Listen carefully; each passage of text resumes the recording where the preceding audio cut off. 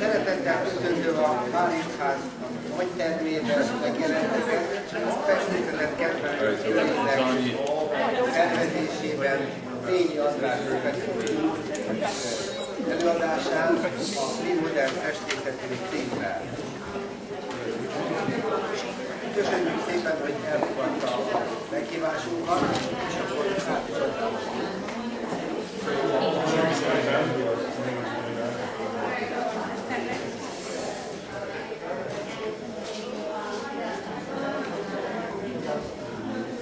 adnám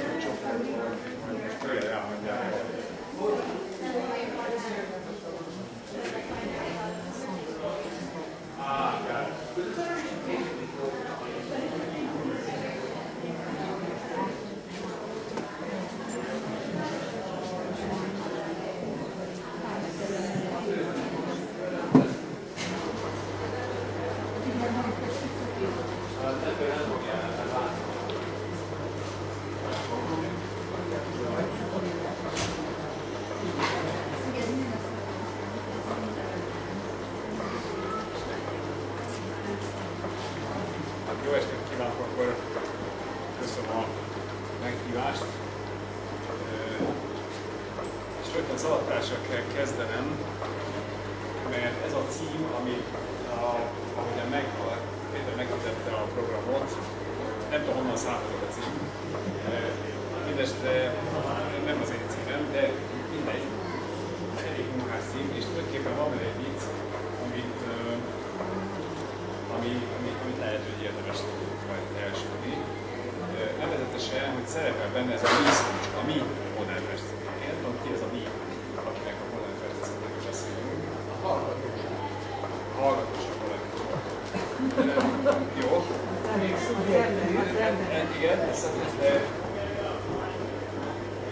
mindesetre valami eszembe jutott, amit a helyszelleme diktál, és összefügg a modern festők történetével, az abstrakció történetével, annak a történetével, amelynek a megértése olyan sok problémának a, a modern művészet fontos jelensége. És ez pedig a, a, a zsidóság a modern művészet. Nem erről fogok beszélni, tehát féltestelenség és nem is hiszek abban, hogy ez, hogy ez, ez termékeny szempont. De arról, de arról igen, hogy van a, kultúrának egy olyan aspektusa, amely szorosan összefügg a képkultúrával, ami nagyon nagy szerepet, nagyon fontos szerepet játszott a művészetnek a kialakításában, és az a nyitókép, amelyel a, én csak a Facebook oldalt láttam, és ott onnan, ott láttam ezt a, ezt a címet, a Facebook oldalon is egy olyan festmény reprezentálja ezt a, vagy hívogatja a, a, a közönséget erre az adásra, amely egy ilyen amerikai asztalt festőnek, Barnett Newmannek a, a egyébként igen híres, nagyon életű kép, ez a jobboldali felelősség, az van tévésen az, az, az érvényes alap. De hát ez egy a Vir Heroicus Sublimis című című festmény, egy 240-242 hatalmas képről van szó, tehát két és fél méter magas és fél méter hosszú, egy hatalmas festmény, amelynek a, amelynek a, a képével hívogatta, hívogatta Péter a, a, a, neked az előadásra, és amelyhez én ironikus módon hozzatennék egy másikat, ezt. Annak a tökéletes tanástalanságnak a jelzéseként, ami az átlag nézőt szándékosan azért választottam egy ilyen képet, mert jól látszik, hogy a sarus turista átlagnézőnek a klasszikus esete, aki szembe találja magát egy ilyen, egy ilyen, egy ilyen modern művészeti valamivel, és, és, és talán azt hiszem, hogy a kép gyönyörűen fejezíti azt a, azt a azt a, azt a problémát, amiről tulajdonképpen beszélnünk kell. Hogy hogyan, mi közünk van nekünk, mi, nekünk, egyszerű hétköznapi népeknek ahhoz a fajta festészethez, amiről által, amiről, amiről, amiről valószínűleg úgy érezzük, hogy kellene értenünk, és valahogy nagyon nem értjük. Tehát ez a probléma nagyon nyers és nagyon egyszerű a képben, a két képben szerintem szépen, szépen van, van, van ábrázolva.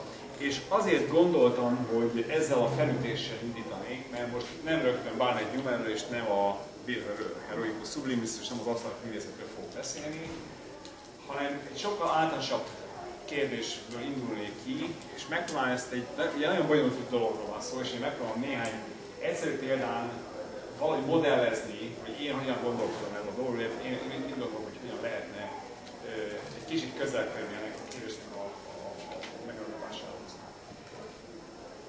Vagyis nem olyan képeknek az elemzésével fogunk kezdeni, mint absztrakt képek, hanem olyanokról, amelyek nem absztraktak, és amelyekről azt gondolnánk, hogy nincsen velük tulajdonképpen semmi. Semmi probléma, ugye? Tehát, akikkel szemben nem érezzük ezt a fajta zavart, hogy, hogy, hogy nem tudjuk, hogy mit látunk, vagy mit kellene, mit kellene látnunk, mit kellene néznünk, hanem inkább azt gondoljuk, hogy otthonosan mozgunk ebben a dologban, és tudjuk, hogy tulajdonképpen mire, mire is várunk. A példám az egy nagyon híres kép. Velázqueznek a Las meninas az udvarhölgyek, így, ez a magyarul ismert cím. Egy nagyon érdekes festmény, amelyet most azonban nem a mondjuk így a, a művészetörténet ismerterjesztő előadások kondorában, vagy, vagy, vagy a múzeumi kiállítás vezetőknek a, a, a, a, a, a modorában fogok, fogok jellemezni, hanem valami olyasmit szeretnék ebből kipreparálni ebből a képből, egy olyan részletet, valami olyasmit, amire nem gondolnánk, hogy probléma, és abba, arra szeretnék rámutatni, hogy akkor fogjuk megérteni az abstrakció problémáját, ha, ha megértjük azt, hogy ö, inkább így mondanám,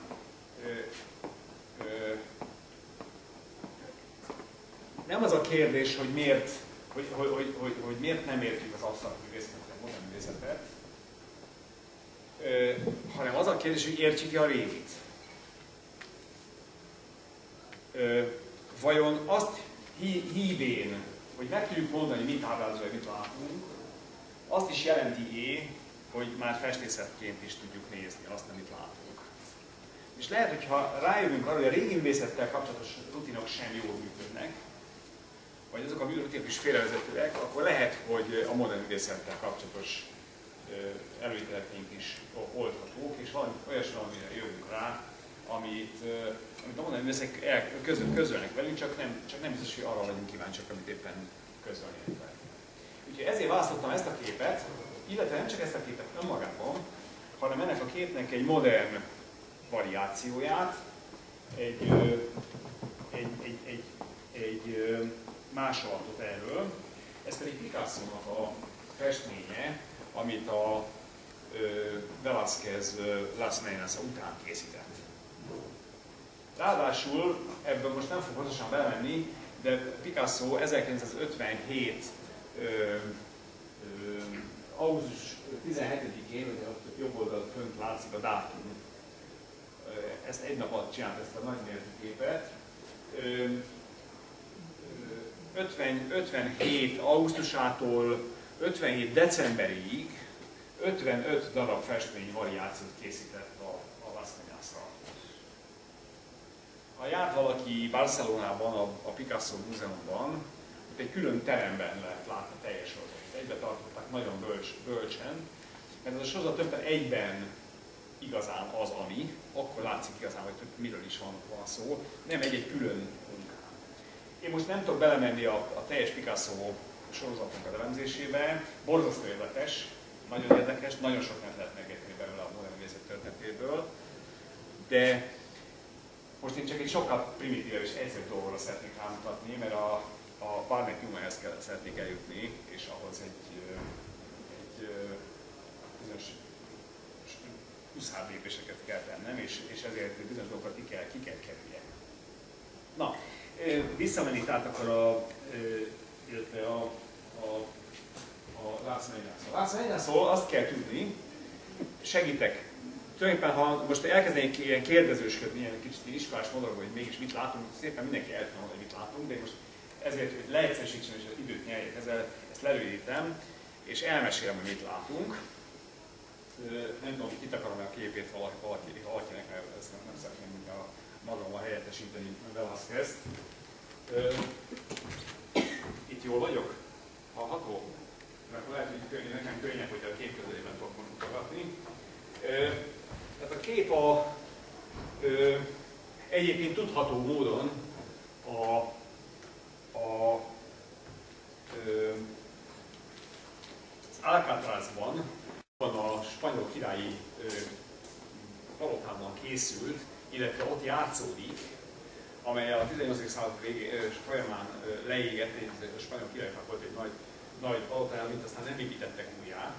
Ennek az épületek fönnmaradtak a, az eredeti tervezai, maket, makettjei, na, pont, pontos ö, ö, képünk van arról, hogy hogyan is nézett az épület valójában. Tudjuk, hogy melyik az a terem, ahol, ahol, ahol ez a jelenet játszódik.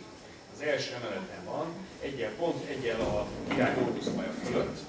Az a terem, ahol a királyi festménygyűjtemény volt elhelyezve, és amelyen ö, ö, amely festménygyűjteménynek egyébként Velázquez, Velázquez a festő maga volt a kurátor, ő volt a fő, az udvari, az ott vezető udvari festő volt, ő volt a festménygyűjteményet felős hivatalnok is. Tehát őt, magát Velázquez látjuk itt a képen, hogy ki, ahogy kipek kitekint a nézőre, kezében ecsettel, palettával, lovagi rangot visel, visel, visel tehát a lovagoknak járó liliomos keresztel. Éppen fest, és itt azt is látjuk, hogy itt van a vászon, amelyen, amelyen éppen dolgozik. Úgy tűnik, mintha éppen kinézne a vászon mögül, hogy ránézzen a, a, a nem tudom kire. Ez egy érdekes kérdés, hogy kire néz a, festő. Az előtérben látjuk középen a kis Margarita infánsnőt, ő volt a király és a király, király, királynőnek a, a, a legkisebb gyermeke, és itt van a két úgynevezett Meninat címadó, a két udvarhölgy, akiről a kép a, a címét kapta. Az egyik itt térdel és éppen itallal kínálja meg a kis asszonyt, a másik pedig hátul billeg. Itt az előtérben két az udvari, az udvarhoz tartozó törpe, illetve, illetve szórakoztató szekció tagjai helyezkednek el, két ilyen törpe figura, illetve egy kutya, mögöttük pedig két ö, szintén nevelő funkcióban lévő ember, egy idősebb férfi és egy idősebb apáca, illetve a háttérben egy nyílt ablaknyílásban Don, Don Nieto-t lehet látni, ő volt a, a, a Ludvari szertartásmester volt, vagy hopmester volt igazság szerint, tehát egy is egy vezető, a király nagyon fontos etikett szabályok szerint nagyon kiemelkedő szerepe volt az ilyen típusú események megszervezésében is.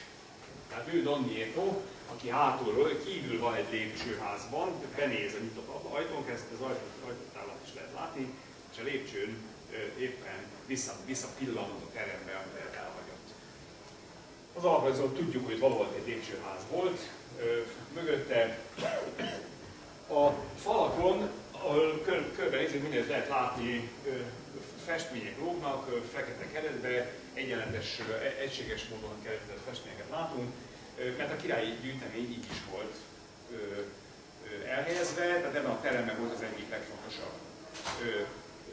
Sőt, olyannyira, hogy mészeti történetek kiderítették, hogy mi a képek, amiket föl lehet ismerni. A háttérben a falon két, egy Rubens és egy, egy, egy, egy egy Jordanes képnek, két mitológiai tájat ábrázoló festménynek a, a sziluettjét lehet lehetni.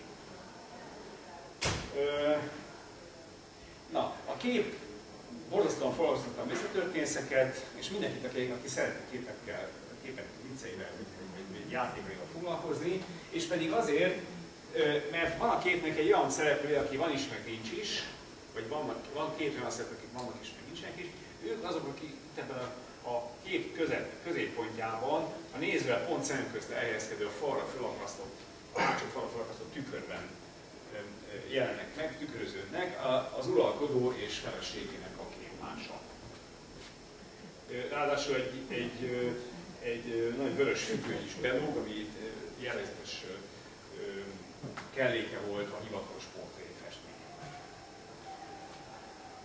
Vagyis a kép fikciója, a kép által sugalt képzelt összefüggés szerint itt arról van szó, hogy a király és a királynő éppen pózt ülnek, modellt ülnek ahhoz a festményhez, a festő éppen dolgozik. A festő kinéz a képből és ránéz a királyra, meg a királynőre, akit egyébként meglátogat a fárasztó és kényelmes, kényelmetlen modellülés közben a kislányunk és a, az ő kísérete, tehát egyfajta ilyen szórakoztató társasági jelenetről van szó. Tehát csak mi nem azt látjuk, amit a kép a festő ténylegesen megfest, hanem azt látjuk, hogy mi az a környezet, amelyben ez a festmény készül. És való igaz, hogy kiszámították, mondom, ennek a teremnek ismerhetők a pontosan a méretei, alaprajzi és, és műszaki rajzok fennmaradtak az épületben, tehát pontosan lehet, ki, ki lehet számolni, hogy a térnek mely pontján helyezkedik el a lerakott, leállított vászon, és ez alapján ki lehet szerkeszteni szabályos perspektívikus mérések alapján, hogy mekkora ez a vászon tulajdonképpen, és azt is meg lehet látni, hogy ez pont akkora, Velázquez fikció szerint pont akkora, mint amekkora maga Manas című festmény.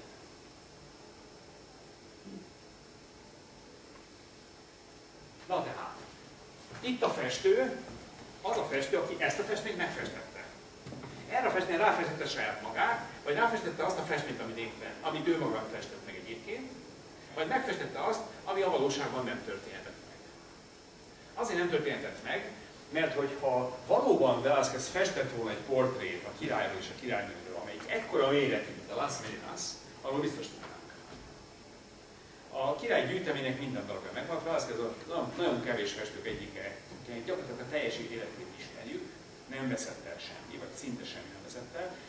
Lényegében a teljes festői élet, élet művészetét a királyi udvarban töltötte, minden műve rendkívül jó van dokumentálva, nagyon szigorú rendben tartották, tehát nincs olyan, hogy véletlenül elfeledkeztek, vagy az idő során elfelejtődött egy akkora méretű hivatalos Velázquez portré a király és a királynőről, kettős portré ráadásul nagyon reprezentatív, amelyről nem nyomulunk. Nincs ilyen kép. Ilyen képet nem festett.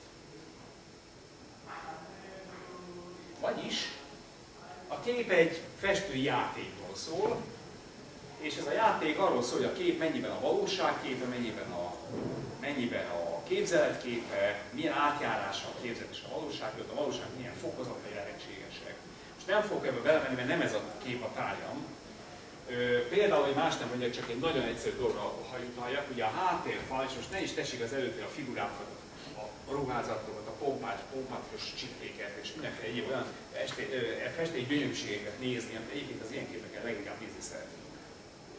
Hanem egyszerűen csak azt csináljuk, hogy nézzük meg a háttérnek a falát, és azt a különbséget, amit, amit Velázquez ö, teremt a festmény, a tükör és a valóság létfokozatai között. Hiszen lényegében erről van szó, hogy minden a háttérben minden be van keretezve. A fekete keret egy olyan közös, ö, ö, egy olyan közös ö, nevező, amin össze egymással háromféle dolgot, amik mind a kereten belül vannak. Nem tudom, hogy érthető-e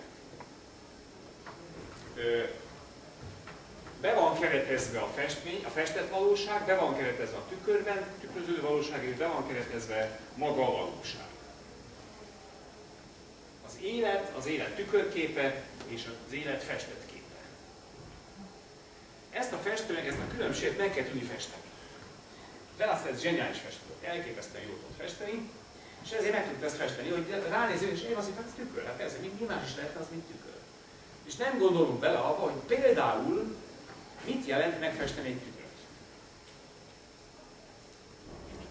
Ha ugyanis egy tükör valóban rendes tükör, és elképzelhetjük, hogy azért a spanyol kiállítban rendes tükrök voltak, tehát nem ilyen ócska, rosszul foncsorozott, kopott vackok voltak, rendes tükrök voltak, velencei tükrök voltak, nagyon drágák és nagyon értékesek, élesek és tűélesek, akkor nyugodtan elgondolhatjuk azt, hogy a, a, a tükörkép és a valóságképe között tulajdonképpen nem volna szabad különbséget látni.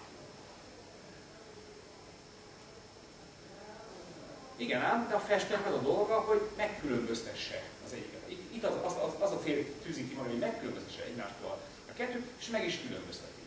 Például egy nagyon egyszerű festői trükkel, azzal, hogy ezt a tükröt suló fénymány, itt kinyit egy, a hátsó falon egy, egy spalettát, itt egy négy, négy zárt ablak, keskeny hosszú ablaksor helyezkedik el, és közöttük a, a vékony fal, falakon oldalon lehet látni keskeny, kisebb méretű képeket, azoknak az árnya, árnyait, ugye ezek, ezekről beszélek itt. De itt a leghátsóbb kintja, ugyanúgy, ahogy itt a legelsőt, a legelső is nyitva van, itt is látszik egy szép sarka, itt bedől a fény, és ez a fény világítja meg az előteret, ahol a figurák helyezkednek el. Hozzájuk képest ez a két hátsó figura már árnyékban van, már sötétben van, és mögöttük az első fény, amelyik oldalról nyílik, az itt ebből a, ebből a nyílásból, ebből a feltetően nyitott spajtából árad be, és súró fénybe vonja a hátsó falat. Ezért látunk egyáltalán bármit is a hátsó falból, és nem tök sötétet. Óvatosan kell játszani a fényekkel, hogy, hogy, hogy, hogy látszódjék is valami hátsó falok. Ez a különbség, az államféle valóság és akkor ez a súrolófény megvilágítja a tükörnek a felületét. Aki tükörképet akar festeni, annak nem csak azt kell megfesteni, ami a tükörképben pontosan látszik, hanem azt is meg kell festeni, hogy az, ami látszik, az a tükörképben látszik, a tükörben látszik. Egy másodlagos képként látszik. És ennek nincs más módja, mint hogy magát a tükröződő felületet kell megfesteni. Pontosan van szóval meg, a, a dologhoz magához hozzá kell rendelni a tükröződő felületnek a megfestését is. Mondjuk, hogyha kedves festőm példáját tudnám mondani, Caravaggio megfesti a Narcisz képét, a saját képét beleszerelmesedő fiatalnak a képét, ez egy olyan kép, amelynek a játék az, hogy a felső részben van a fiú, fiú az alsó részben pont a, gyakorlatilag a képnek a középvonalában teljesen keresztül húzódik az, egyfajta horizontvonalként a, a, foly, a tónak a part, partvonala, és a képnek a, a partvonal, képnek az alsó fel teljes egészében a vízfedet mutatja, amelyben a fiú a saját megkettőzését látja. A két mint egy kártyával megkettőzi a figurát, és a különbség az, hogy az egyik az élet, a másik a tükörképe. Az élőtest és a tükörképen mutatkozó test. És az, ahogyan Kárgya megfesti a tükörképen mutatkozó testet, a, kül, a festő különbség, úgy szó, különbség, a különbség az, amitől az a, az a tükör a tükörképévé válik, és nem a valóságé. Rossz festők egyszerűen csak megismételnék a tükröt. Ugyanazt még egyszer. Jó festők a tükrök is. Tudják, hogy a tükrök is meg kell, a tükrök anyagát. Azt, azt a tükröző felületet kell megfesteni, amelyen ez a, ez a, ez a, ez a másik kép más létrejön. Na hát ezt csinálja Velaszimos. Jó, ezt most befejezném, csak azt akarom ezzel mondani, hogy ilyen típusú kérdéseket szépen végig lehet játszani a képen is. Úgyhogy, aki ismeri a Lassenmászra vonatkozó irodalmat, és így nagy, hatalmas filozófiai vita van ennek a képnek a kapcsán arról, hogy mi a kép és mi és hol, vannak ide. Ugye Michel Foucault nevű híres a francia filozófus írt egy külön, egy, egy nagy követ írt a, a, a, a tudás természetéről, az újkori Európa gondolkodásról, az európai tudománynak a, a, a fejlődés, a tudás filozófiájáról, és abban, abban ez egy hosszú könyv, amelyik az végigtekinti az egészen a reneszánsz a napjaink, vagy a modern, modern, modern világig a, a tudásnak ezeket a nagy, nagy korszakait, és ennek a könyvnek a nyitó fejezet egy 20 oldalas hosszú elemzés erről a kép. És ennek az a lényeg ennek az elemzésnek, hogy ez a kép egy, egy, egy, egy ismeretelmeti ellentmondást tartalmaz, egy belső logikai hibát tartalmaz. Ugyanis, hogyha ez valóban a tükörkép, akkor a néző helyén az uralkodóknak kéne ülni. De mi nézők vagyunk, és nem vagyunk uralkodók. Hol van egy olyan, hol van ennek a képnek a, a, a külső nézőpontja? Ugye ezt a logikát ebből a képből nem lehet levezetni. ez a kép egy, egy, egy zárt reprezentációt feltételez, amely akkor lenne tökéletes, akkor lenne hibátlan, akkor lenne makulátlan, ha az uralkodó pár ülne a festmény előtt. Tehát az uralkodó pár rég halott, a nézők meg cserélődnek a múzeumban, és senki se azonos az uralkodó párral, akinek a kép egyébként tükrődik a falon. Hogy tükrődhetne a falon egy olyan a kép, amely előtt nem az ül, akinek a tükörképe kell, kell legyen. Nem tudom, hogy érthető ez. Most nem akarok ebben menni, ez nagyon érdekes filozófiai vita, de megjegyzem zárójeles megjegyzés. Voltak művészetörténetek, akik ezt úgy, olyan módon próbálták meg ezt a dilemmát feloldani, hogy hát nem is úgy van az, mert valójában az a kép, amit itt látunk, az nem azonos a matematikai számítás alapján próbálták ezt ki, ki, ki, ki, nem lehet azonos az alkotó párban, az nem, nem nézhet így ki, mint ahogy itt az a festmény kinéz. Egy kisebbeknek kéne lenni, messzebbről kellene látszódni, mint ahogyan így ez a, ez a képen látszanak, látszólag látszanak. Ergo valószínűleg inkább arról van szó, hogy ebben a tükörképben ez a festmény tükröződik. Tehát a festmény az, amelyik a tükörképet tükröződik, nem, a, nem a, az, ami a festmény előtt helyezkedik el. még egyszer most, ez, miután nem ez a témám, nem ragadom a tovább, inkább visszamennék a kiinduló kérdésemhez, nevezetesen, hogy mit csinál ebből Picasso. Mit csinál ebből Picasso? Na most nagyon sok mindent lehet erről elmesélni, és most én nem fogom ezt végig, végig ragozni, mert nincs erre idő. Csak egy kérdést teszek föl így önöknek. Mennyire érdekli picasso a tükör?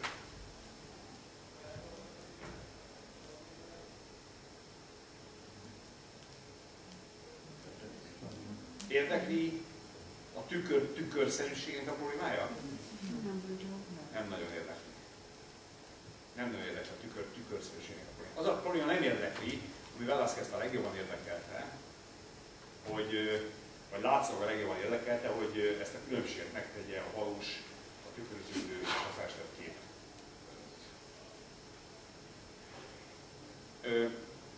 Picasso mindenféle különbségeket tesz közöttük, nagyon bonyolult játékokat játszik Picasso is, de ezek a játékok más körül, másról szólnak, mint az a Velázquez játékai szólnak. Na ezt a problémát szeretném tulajdonképpen kövelni, mert talán ebből ki lehet, tehát magyarán, hogy a tükör azért egy ilyen fundamentális kérdés a Velázquez esetében, mert a tükörben ö, mutatkozik meg a legvilágosabban az a probléma, hogyan általában szeretjük a képeket nézni, nevezetesen, hogy a kép az valaminek a képe. Első kérdésünk, amikor képet nézünk, mit ábrázol? Ugye? És az abszolút képpel az a legnagyobb problémánk, hogy nem tudjuk megmondani ezt. Nem tudjuk, nincs válaszunk, hogy mit ábrázol. Nem ábrázol semmit, és nem ábrázol semmit, akkor mi értelme van? Akkor hülyeség.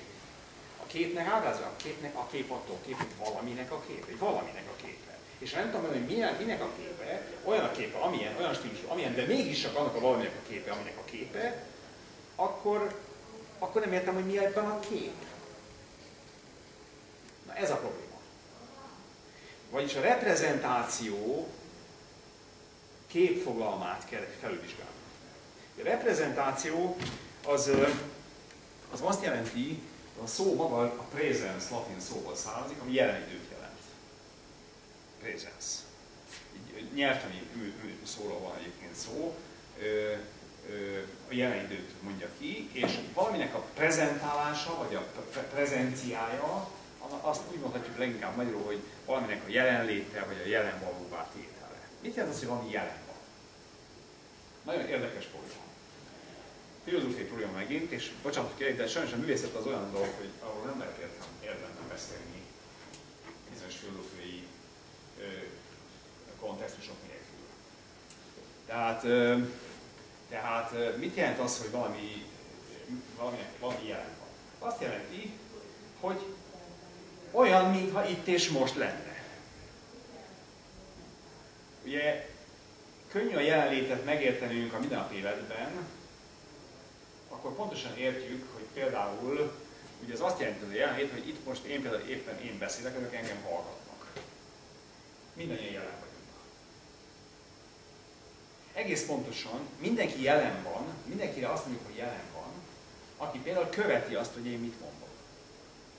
De elképzelhető valaki hallgatóság, aki itt ül, és rohadtul nem követi azt, én mondok, hanem egész mással foglalkozik belül. És azt szoktuk erre mondani, hogy hát nincs jelen.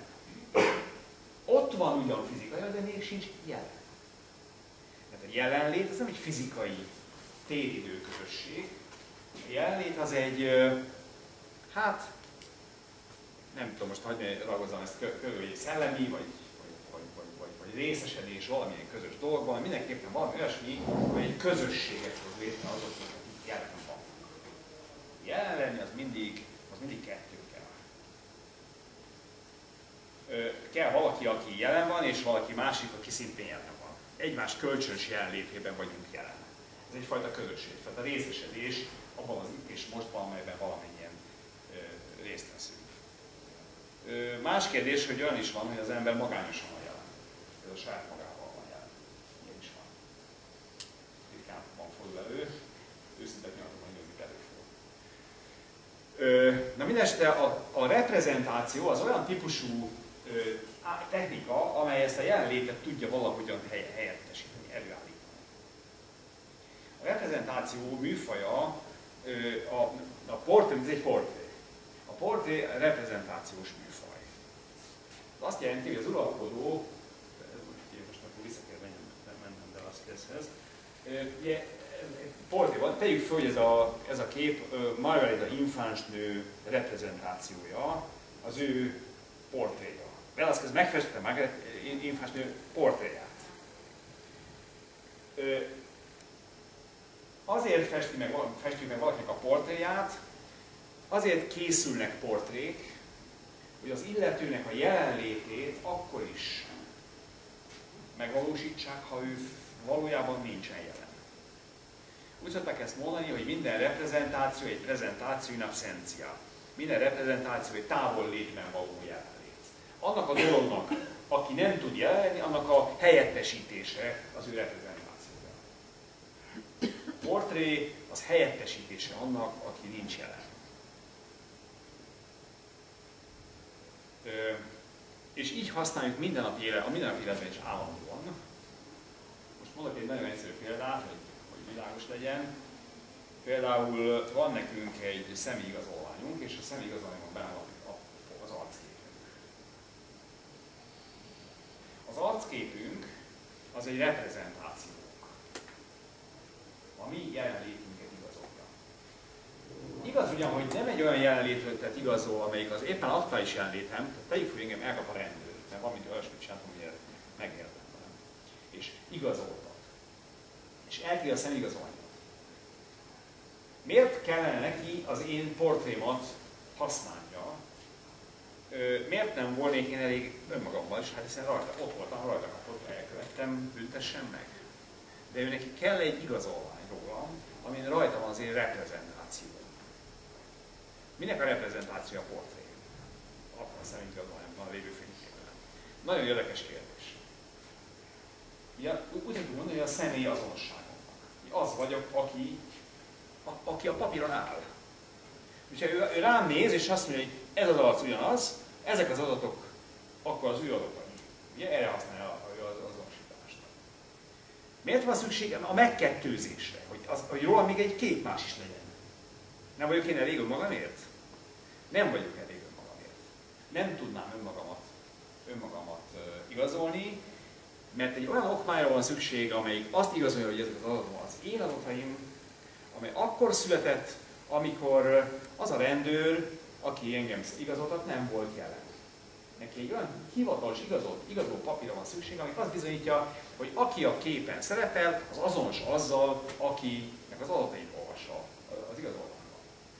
Ez tehát nem jöhetett létre másként, mint az, hogy én el kellett, hogy menjek abba a hivatalba, ahol kiállítják a szemigazolványt, meg kellett jelennem, föl kellett mutatnom az összes igazoló iratomat.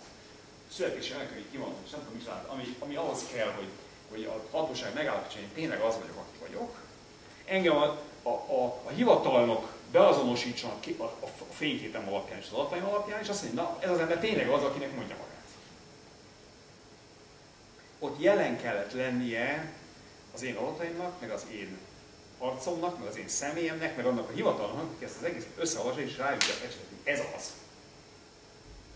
És ezt teszi lehetővé az, hogy egy rendőr bárkit ez alapján egy, egy másik helyzetben az ő azonosságát be, be tudja, be tudja biztosan meg tudja, meg, meg tudja állítani.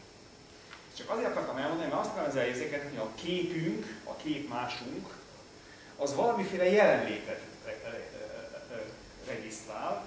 Az, az, az igazolványunkban benne van az a dátum is, hogy mikor jelenlétünk, amikor, amikor megmutattuk az adatokat, és amikor az igazolványt kiadották.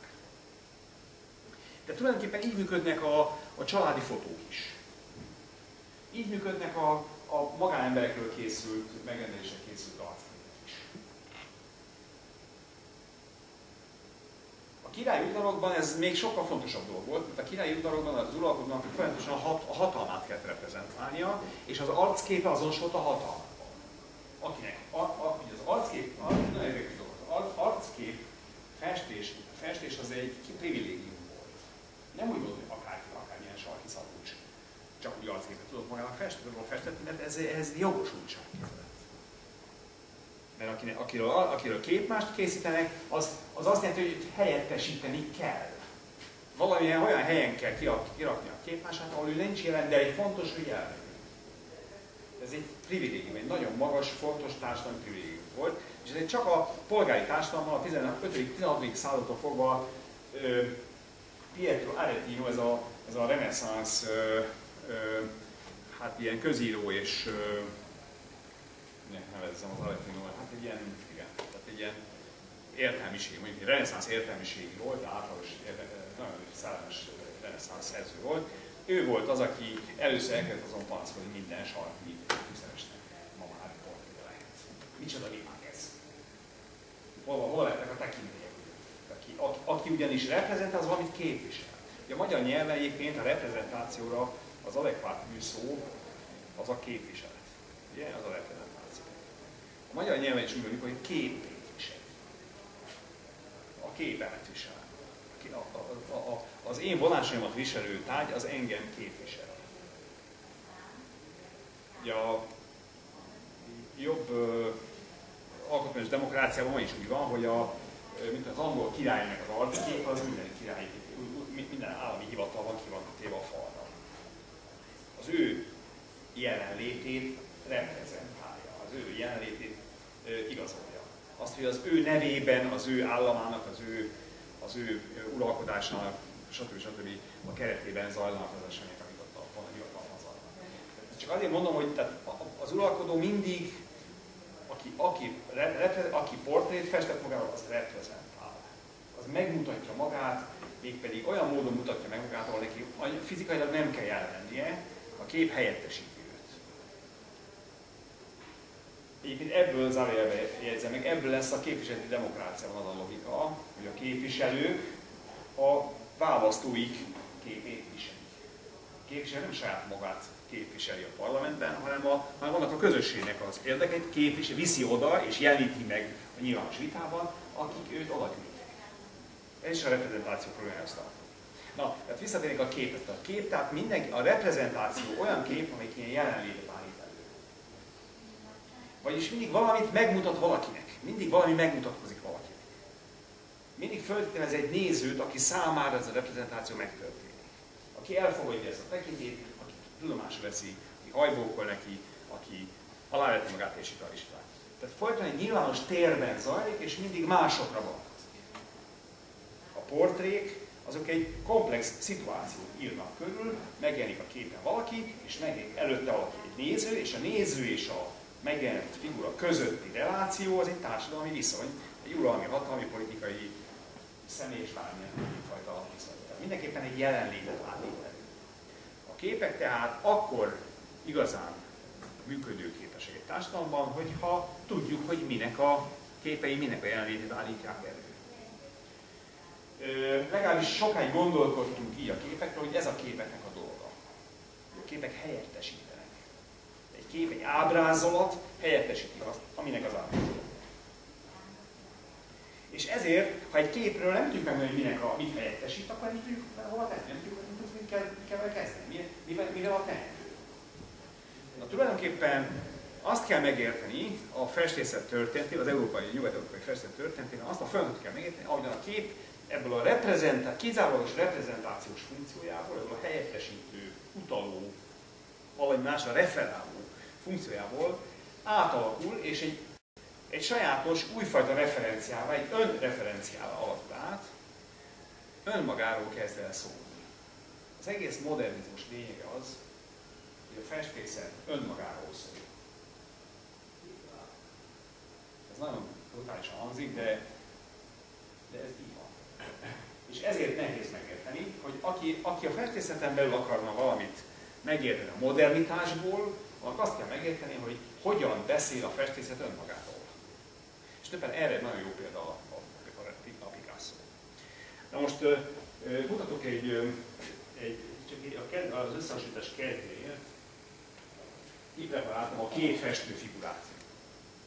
Itt jól látszik, hogy, hogy bizonyos dolgok Picasso egyáltalán nem érdekli. Nem érdekli a tükör, mert a tükör egy reprezentációs probléma, nem érdeklik a figurák, pontosan mondom, nem érdekli a, fi, a figuráknak az a tulajdonságok, hogy személy szerint beazonosíthatók legyenek. Arra például nem törekszik, hogy, hogy a, a, a, a, a,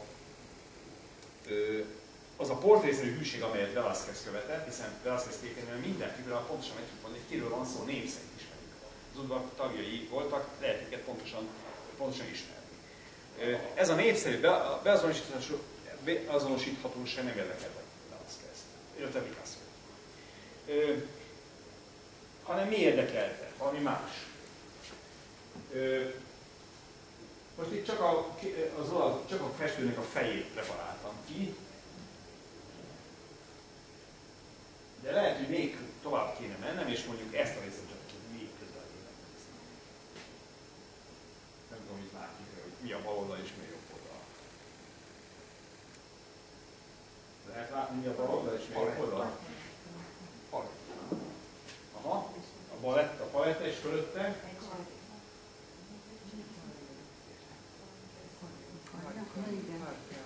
Aha. A, a felkarja festőnek, ugye, amelyről azt lehet látni, még kicsit messzeről nézve még jobban lehet látni, hogy tulajdonképpen ez egy, ez egy ilyen hasított zubbony, egy ilyen fekete ö, csillogó hasított zubbony, amely, amely alól kilátszik az alatta lévő fehér ö, ink, ö, inkvál vagy inyak. Ö, és többen ezt lehet látni, ezt lehet látni. Most tessék megnézni, hogy mit csinál Picasso abból, amit Velázquez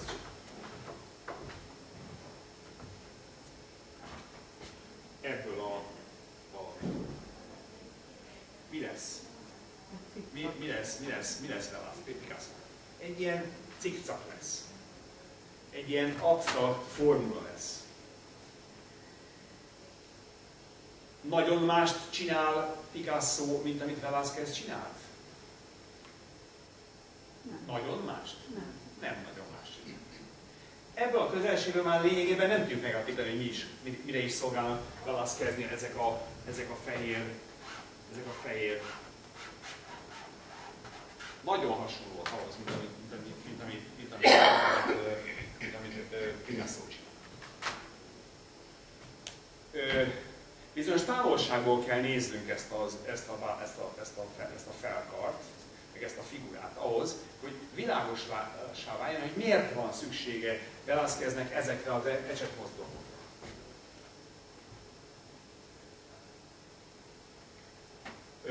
Van egy érdekes megfigyelés, ez a 17. századi művészetben majdnem univerzálisan tekinthető, a hollandoknál volt egyébként igazából erős, és ott reflektáltak, hiszen gondolkodtak is ezen. Ez pedig az az érdekessége, hogy az ember, amikor egy festményt néz, egy 15. századi portrét, vagy egy 15. századi csendetet néz, akkor egy furcsa, furcsa fókusz, állandó átfókuszálást művel. Nem tudom, megfigyelték-e már, én megfigyeltem a múzeumokban, képtárakban, hogy az emberek az ilyen képeket úgy szokták nézni, hogy megnézik messziről, aztán közel hajolnak megnézik a részleteket, utána megint távol hajlanak, és megint megnézik egy. Na mi történik ilyenkor? Nagyon érdekes dolog. Az történik, hogy ránézek egy nagyon életű, nagyon jelenlétet előállító, nagyon eleve, nagyon valós, nagyon kézzelfogható látszó dolgokra, és megállapítom, hogy milyen ragyog, milyen alapú, milyen valóságos, milyen élő, milyen friss, milyen robotos, milyen... Ismerjük ezt az érzést. A képeknek van egy ilyen, egy ilyen erejük, hogy a saját, azt a jelenlétet, amit elő tudnak állítani, azt elő is állítsák, ezt az élményt elő is állítsák, ez tényleg jelen az a tényleg jelen az a személy, tényleg jelen. Na de nem vagyunk idióták, tudjuk, hogy ez festői módon van előállítva. Nem nézzük a képet valóságnak, ezért arra is kíváncsi hogy na de hogyan csináltam? És ezért az ember közel, közel is elkezdi nézni az ecsetnyomokat. És annál intenzívebben kell nézni az ecsetnyomokat, minél varázsosabb a valóság. Vagyis amikor az ecsetnyomokra koncentrálok, akkor nem csak a tájra koncentrálok. Amikor az ecsetnyomra koncentrálok, akkor az ecsetnyomot nézem, és csak arra nézem, hogy milyen furcsa, érdekes, töredezett, töredezett alaptalan valamit látok, látok, amit a festő oda, oda pingált. És lám is a varázslat, hogyha eltolom magamtól, visszalépek, átfókuszálok, megint a tájra figyelek, akkor hoppá, hűde, így működik. Közelnézetben nem a tárgyat látom, hanem az ecset technikáját látom. Távol nézetben viszont a tárgyat, a tárgyát jelenlétét látom. És egyik sem elégít ki. Ha csak a tárgy jelenlétét látom, akkor az olyan, mintha, mintha illúzionista moziba ülnék. De az ember az illúzionista moziban is arra kíváncsi, hogy hogyan csinálták. Beszokjuk az illúziót, elfolyjuk az illúziót, fölülünk neki tetszik, de állandóan rákérdezünk, hogy hogy csinálta. Miféle technikával, a technika, technológia állított elő. Na, a festőknek ezt a technológiát kell megtanulniuk, és tulajdonképpen a jó festészet az, amíg a nézőnek meg is mutatja azt, hogy hogyan csinálta, hogy létrejön ez az illúzió. Az illúzió egy technológia, a, a, a, a, a kép pedig az illúzió. És a néző dolga az az, hogy egyszerre lássa azt, amit a kép előállít, azzal, ahogy előállította. A dolgot magát, meg a hatását. Az effektust és a, és a, és a, és a, és a mechanizmust. Most ezt a kettőt egybe kell látni, ha, ha valaki a 10. századi festészetben, mondjuk Velázquez festészetében, vagy de mondhatom, a hollandokat is mondhatnánk, vagy, vagy bárki, a, a, aki ebben az időszakban jelentős művész volt, ha nem ezt a kettőséget nem tekintjük, nem tartjuk szem előtt, akkor nem értjük, akkor nem a művészetet nézzük. A művészet erről szól. Arról a skillről, az ügyességről, a technikai bravúról, hogy hogyan tudja megcsinálni azt, hogy aztán a néző elhiggye, hogy ott ténylegesen egy élő tárgy. Tessék megnézni egy Fermernek az elképesztő káprálatos kis, kis, kis festményét a, a teljes, a, a teljes döntő asszonytálantól ismerik ezt a képet, gyönyörűséges kis, kis zsánergép, ahol egy ilyen, egy ilyen főkörös asszonyság egy, egy csuporból tejet önt ki. Az, az, ahogy, ahogy az a tej, az a tej majd, hogy nem, a szagát lehet érezni, annyira intenzív az effektus, annyira jól megcsinálva, és az ember közel hallja, és látja, hogy az ecsetnyomoknak egy milyen szisztematikus munkája állítja elő ezt az effektust. Festők ugyanis dolgoznak azon a vásznon, amelyen, amely, amely, amelyről aztán ez a kép, más előáll. Ők, őnekik, elő kell, őnekik azt a technológiát kell alkalmazni, aminek az eredménye a, a, a, a néző, a naiv nézőnek nem kell érteni, hogy mit, hogy mit csinál a festő. A naiv nézőnek elég, hogyha elfogadja, hogy milyen, hogy milyen hiteles a kép. A kép hitelségét minden normális ember, hétköznapi ember is meg tudja ítélni. Az, hogy olyan, mintha élne, szóval ez nem kell a festő. De a felszer igazi dolga az az, hogy rávezesse a nézőjét arra, hogy hogy csinál. Mi volt az a technológia, mi volt az a módszer, mi volt az az ecset, szín, ö, ö, ö, forma, nem tudom micsoda, keverék, amelynek az eredményként ez a dolog így. Vagyis a festészet nagy mértékben a festésről szól. Hogyan kell festeni? Hogyan van megfestve? Ez nem olyan kérdés, amit, amit a néző az igazi esztétikai tudattal bíró, bíró, bíró jó néző csak úgy ráhagyhat a festőre. Ez nem az én. Aki így nézi a festőt, az nem jól nézi. az, az illúziókat vásárol, és nem azt, ami ebben a dolgban az igazi művészet. Tehát ez, ez az, azt akarom ezzel mondani, hogy ez a bizonyos önreferencialitása persze, hogy önmagával kezdve valami, hogyan is csinálta, hogyan is dolog, hogyan is kell azt megcsinálni. Ez a típusú önvizsgálat, ön, önérte, önértelmes része a festészetnek. És aki ezt nem tudja, az olyas valami, olyas valami igényeket kér, kér rajta számon, amelyeket egyrészt nem tud teljesíteni, másrészt, ami igazából elmegy amellett, amit, amit igazából viszont, viszont ténylegesen teljesít. Na tulajdonképpen erről, erről szól ez az egész modernizmus, mert a, és most mutatnék egy, egy, egy mennék egy kicsit tovább a gondolatmenetemben, mert ez tulajdonképpen még csak a felütés volt. Van egy nagyon érdekes részlete ennek a képnek, amit még egy pillanat elejéig megmutatnék. Tessék megnézni, hagyd mutassak egy nagyon-nagyon egyszerű részletet. A képnek a felső harmadában, a plafon. Praktikusan olyasmiről beszélünk, amit a legtöbb néző észre Milyenek ennek plafonja. Ez a plafonon van két csillár. Pontosabban az a két ilyen csillár. Ö, ö, igen, hát ilyen, ilyen stukó, stukóval kölfolt kampó tulajdonképpen, amelynek nem lógik a hatás csillár, de ott van a helye. Az előtérben is van egy, meg a háttérben is van egy. Az a tézisem, hogy amikor az ember festményeket, képeket néz, a festmények és a képek, ez az egyik dolog, amit megtanul minden festnek meg kell tanulni, és minden, minden modern festő aztán megtanulja a régiektől, hogy a régiek hogy csinálnak, aztán magam úgy, ki kell találni magam, ő hogy fogja csinálni. Minden kép tulajdonképpen a nézői figyelemmel gazdálkodik. Bizonyos dolgokat nagyon evidensé, pregnánsá tesz, bizonyos dolgokat pedig erre, vagy jelentékben. Egy képnek az egész feltét be kell kennie a festőnek, ez egy szabály volt, Nem úgy van, hogy a képnek csak arra a részét festem meg, Mindent meg kell festeni. A sarkokat is meg kell festeni, mindent. A nagy kérdés, a néző ebből a valamiből, ami oda a sarokban van festve, mit észlel? Észleli egyáltalán, megfigyeli egyáltalán, kellene egyáltalán. Ha a reprezentáció szempontja vezérli, ha a jelenlét szempontja vezérli, akkor valószínűleg elegendő, hogyha arra koncentrál, aminek a jelenléte a centrumban van. Például egy polt esetében a személynek a és mondjuk nem foglalkozik a háttérrel. Vagy nem foglalkozik a szélekkel. Nem foglalkozik olyasmi, ami nem olyan pregnás, nem olyan magától értődő. Egy kép azonban állandóan azt a játékot játsza, hogy valamit magától értődőnek állít, és cserébe ezért más dolgokat pedig el kell rejteni a magától van két műszó, amit erre bevezetnék, pregnancia és látencia. Nyilvánvalóság és rejtőzködés. Minden kép nyilvánvalóság és rejtőzködéseknek a játéka. Az, hogy mikor mi rejtőzködik, az a fókuszálás kérdése. Ugye az a bizonyos odahajolós játékról az előbb beszéltem, és egy ilyen dolog. Ha az figurát látom, akkor a figura pregnánsan jár.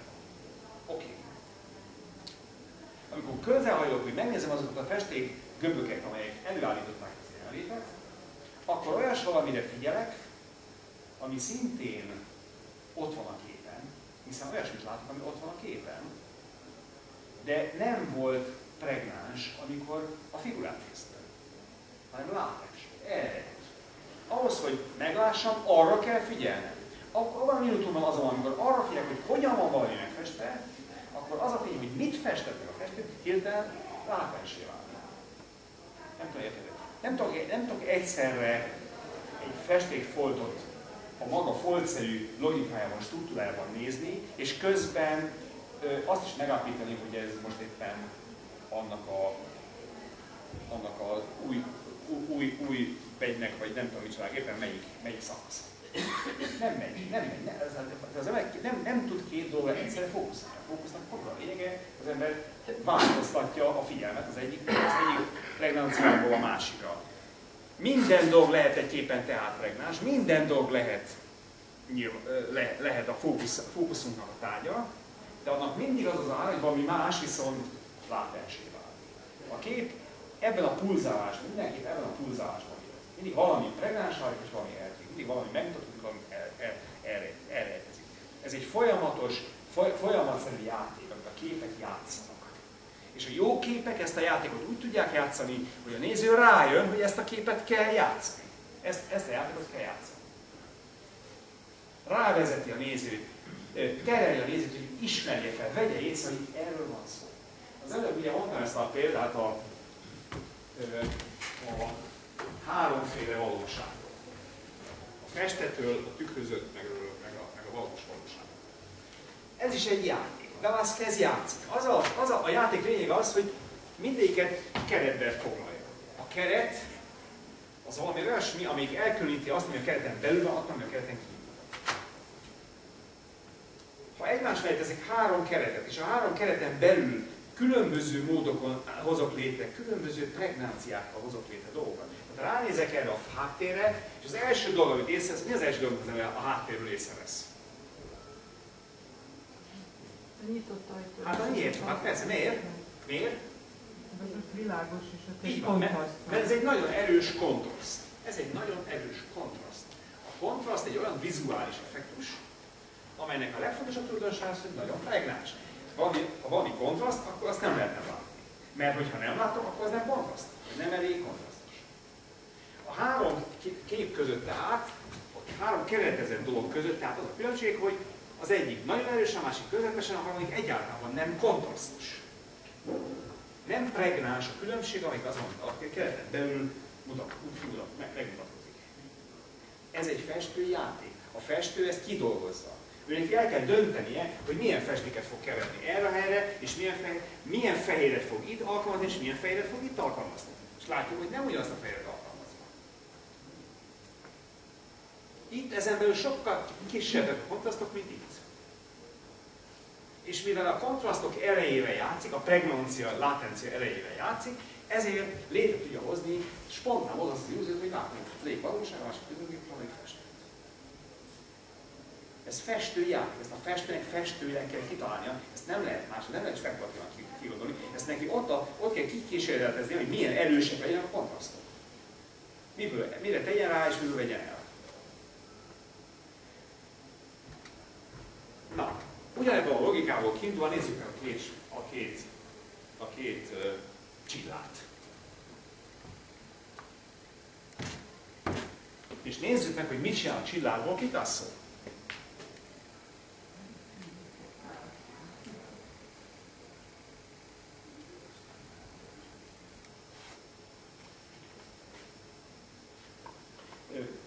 kiszerkesztettem egymás mellé a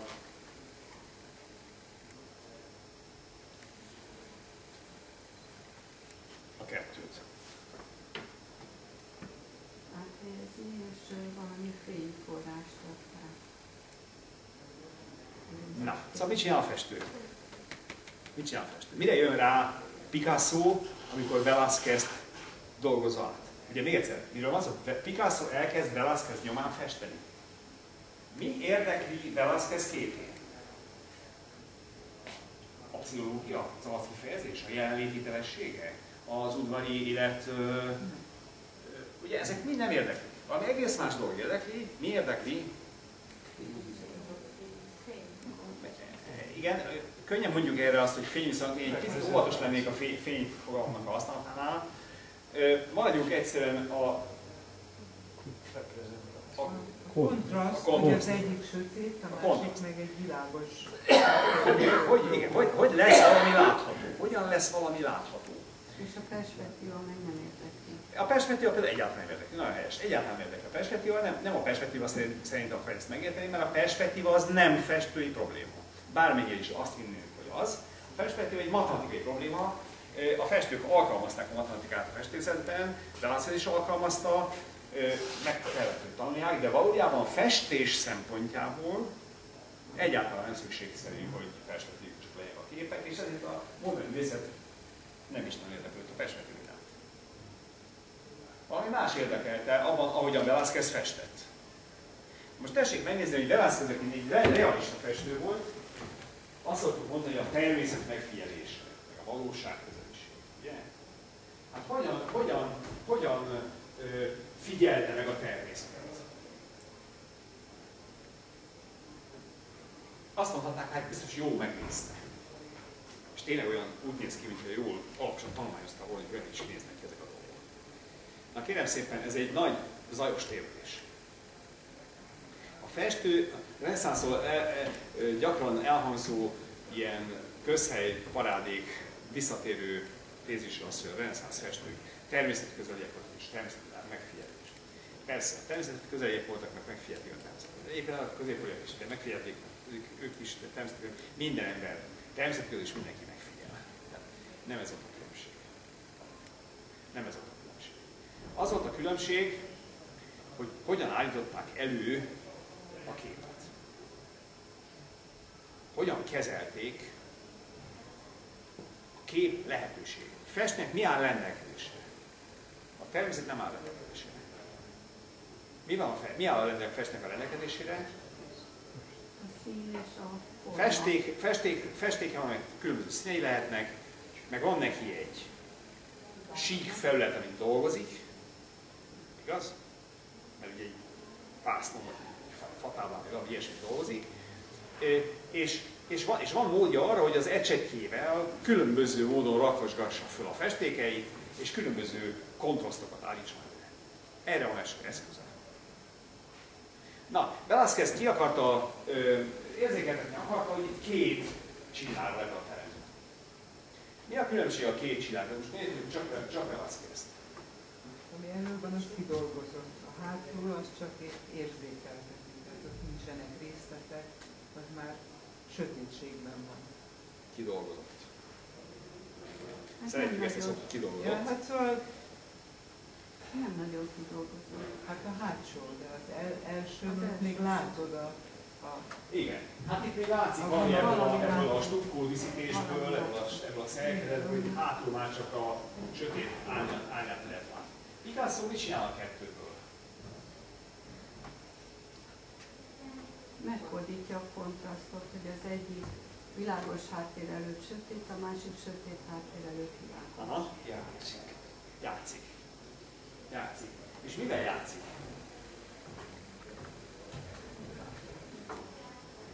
Nézzük meg ezt. Ugye, itt, van egy, itt van egy nagy világos mező, abban van egy sötétebb mező, a sötétebb mezőben van egy világos keret, és a világos keretben van egy fekete kampó.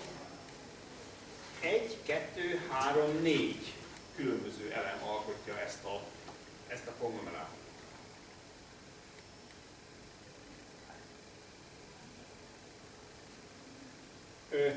Itt pedig mit csinál? Itt van egy sötét mező, egy másik világos mező, itt van egy harmadik, ami, ami ö, ö, megint sötét. Szemben itt, az, ami itt van, mert itt ugye az van, hogy ez a fehér, ami körülveszi veszi a kampót, az más színű, mint az a világos, amely, amely az egészet körülveszi. Itt ez a középső, ez olyan színű, mint ami, mint, mint, mint, mint ami körülveszi. Látjuk? És itt viszont a kampó csak az alsó helyén mutatkozik meg, de viszont a kampó nem fekete, hanem fehér. Mi, mivel tudja pregnánsá, nyilvánvalóvá tenni azt, hogy itt kampókról van szó?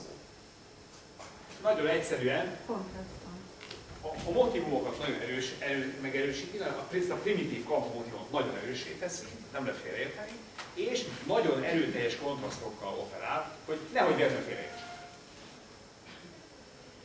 Miért van ilyen sok kontrasztja? Miért kell ilyen sok? Miért nem volt neki elég az, hogy mondjuk ezt egy, egyetlen színnel csinálja, és, és, és mit tudom én, ez a sötét folt, meg egy másik sötét folt, és akkor két kontraszt. Miért kell ilyen, ilyen bonyolultá tenni? Miért kell ilyen bonyolultá tenni? Miért kell ezt a csere, cserebomlást kitalálni? Ezt a, ezt a, ezt a majd, hogy nem ilyen, ilyen, ilyen, ilyen, ilyen pe- pepita, pepita struktúrát kitalálni. Egyik a másikon, a másikon belül a harmadik, a harmadik, a negyedik. Miért kell ez? Hogy- egymáshoz De, képest. já- miért, de mivel játszik? És miért játszik vele? Hogy? De a Szívesen nevezünk ezt fényes árnyéknak, én nem szívesen nevezem árnyéknak, mert egymáshoz be- speciál a Picasso esetében semmi fényárnyék jellegű nincs ebben. Mi a helyzet Velázqueznél? Az a helyzet, hogy ezt a játékot nem Picasso kezdi el játszani, hanem Velázquez is ugyanezt a játékot játszotta. Ugye ahhoz, hogy, ahhoz, hogy ezt a, ahhoz, hogy ezt a, ezt a ö, ö, ö, csi- csi- csillárcsonkot, ezt lássuk, láthatóvá, pregnánsá váljon, mit kell vele csinálni? Körül kell venni egy, egy világosabb felülettel, meg kell világítani körülötte a, a, a, a, a hátteret. Ez nem magától értődően ilyen világos. Ez azért ilyen világos, mert a festő megvilágítja. Nem a fény világítja meg a festő, az, aki oda fényt tesz. Azaz azt a világos fóliát oda teszi, hogy erősebb legyen, világos, de van egy kontraszt. Nem nagyon erős kontraszt, de kontraszt. Ez a kontraszt kevésbé erős, mint ez a kontraszt. De mind a kettő kontraszt. Csak az egyikben egy világos háttér egy sötét táj, a másik egy sötét, egy, egy, ö, mind, a két, mind a két esetben világos háttér, sötét, sötét a táj, a, a maga táj az sötét sziluett meg, de az egyik tagoltabban, a másik kevésbé tagoltabb. Itt jobban látszanak a részletek, itt kevésbé. Itt több elemből áll, itt kevesebb elemből áll. Nem tudom, hogy érthető, hogy mit akarok ezzel ebből kihozni. Hát egy egymáshoz képest. Így van, a, fest, a festőnek, a fest, Picasso tulajdonképpen azt, azt arra talált ki egy ilyen sematikus, majdnem groteszk sematikus játékformát, hogy hogyan kellett festeni a Velázqueznek, amikor sajátját csinálta. Csak Velázquez ugye kiegyenlíti a körülöttük lévő, lévő erős kontrasztot, Picasso pedig kimondja. Velázquez abban érdekelt, hogy a néző ne vegye észre azt, hogy ő milyen kifinomult módon kell, hogy előállítsa azt a olyan fényviszonyokat állítson, hogy látszódjon valami ebből a, sötét, ebből a sötét csombból. Ezt Velázquez el, elrejti, a maga festő játékaival elrejti. Picasso még nyilvánvalóan tesz. Brutálisan kimondja. Ez, erről van szó, gyerekek. Vegyétek már hogy erről van szó. És ezt teszi lehetővé aztán azt, hogy például azt a játékot is megjátszolna, de aztán, ami, ami Picasso-nál, ami Velázqueznél nincs is meg, hogy a két festmény, egymás mellett lévő két festményből az egyiket feketére, a másikat vakító fehérre. Mert a lényegét tekintve nincs különbség. Nem tudom, hogy érthető ez. A festő semmi más nem csinál, csak különbséget tesz. És a különbségtételeknek az értelme az, hogy mennyire lesz pregnáns az, ami, ami megmutatkozik. Ami, és pregnáns pedig azáltal lesz, hogy valami más viszont elrejt. Tulajdonképpen ezt a dolgot kell, kell megértenünk, és akkor már nagyon sok, nagyon sok mindent megérthetünk a, a, a festészetnek a pszichológiájában. És itt hagy, hagy vezessek egy pszichológiai műszót, ez az úgynevezett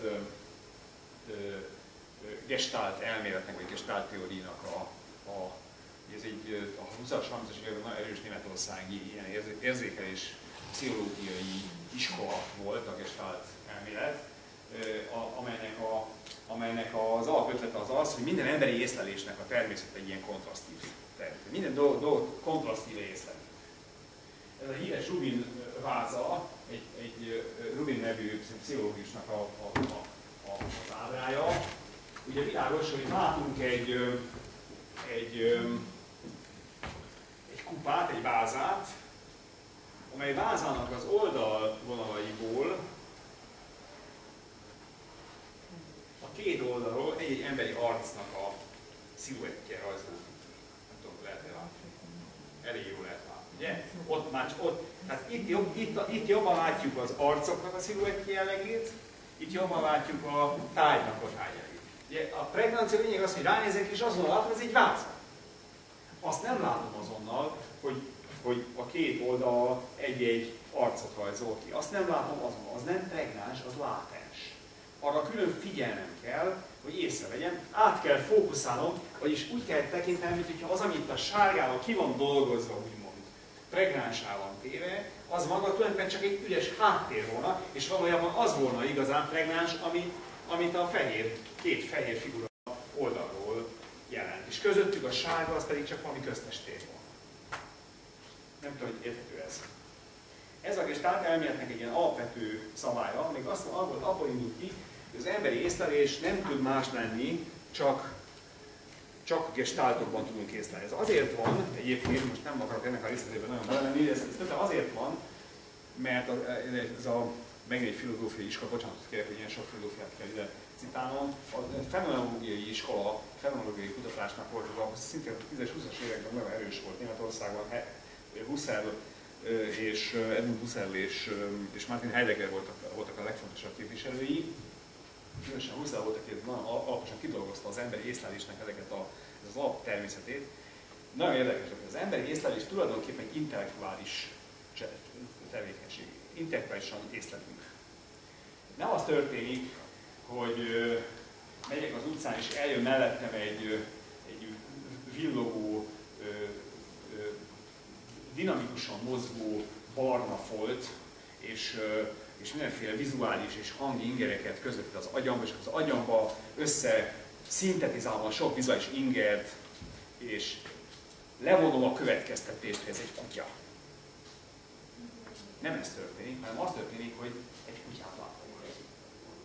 Előbb látom a kutyát, mint a vizuális ingerét. Úgy értem, mint a vizuális sajátosság.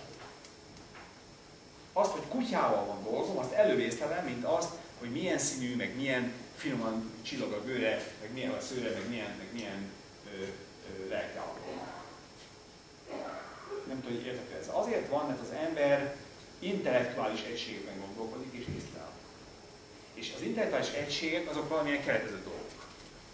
Tehát a kutyát kutyaként észlelem azért, mert amikor a észlelem, mint egy kutya jön, akkor nem kell rögtön azt is észlelnem, hogy mögötte ott van egy járda. Mert a járdának is van egy vizuális ingerkeltő képesség, annak is van színe, annak is van valamilyen forma, az is valójában befolyásolja az idegrendszeremet, és az idegrendszer mégis a kutyát észleli, és nem a járdát.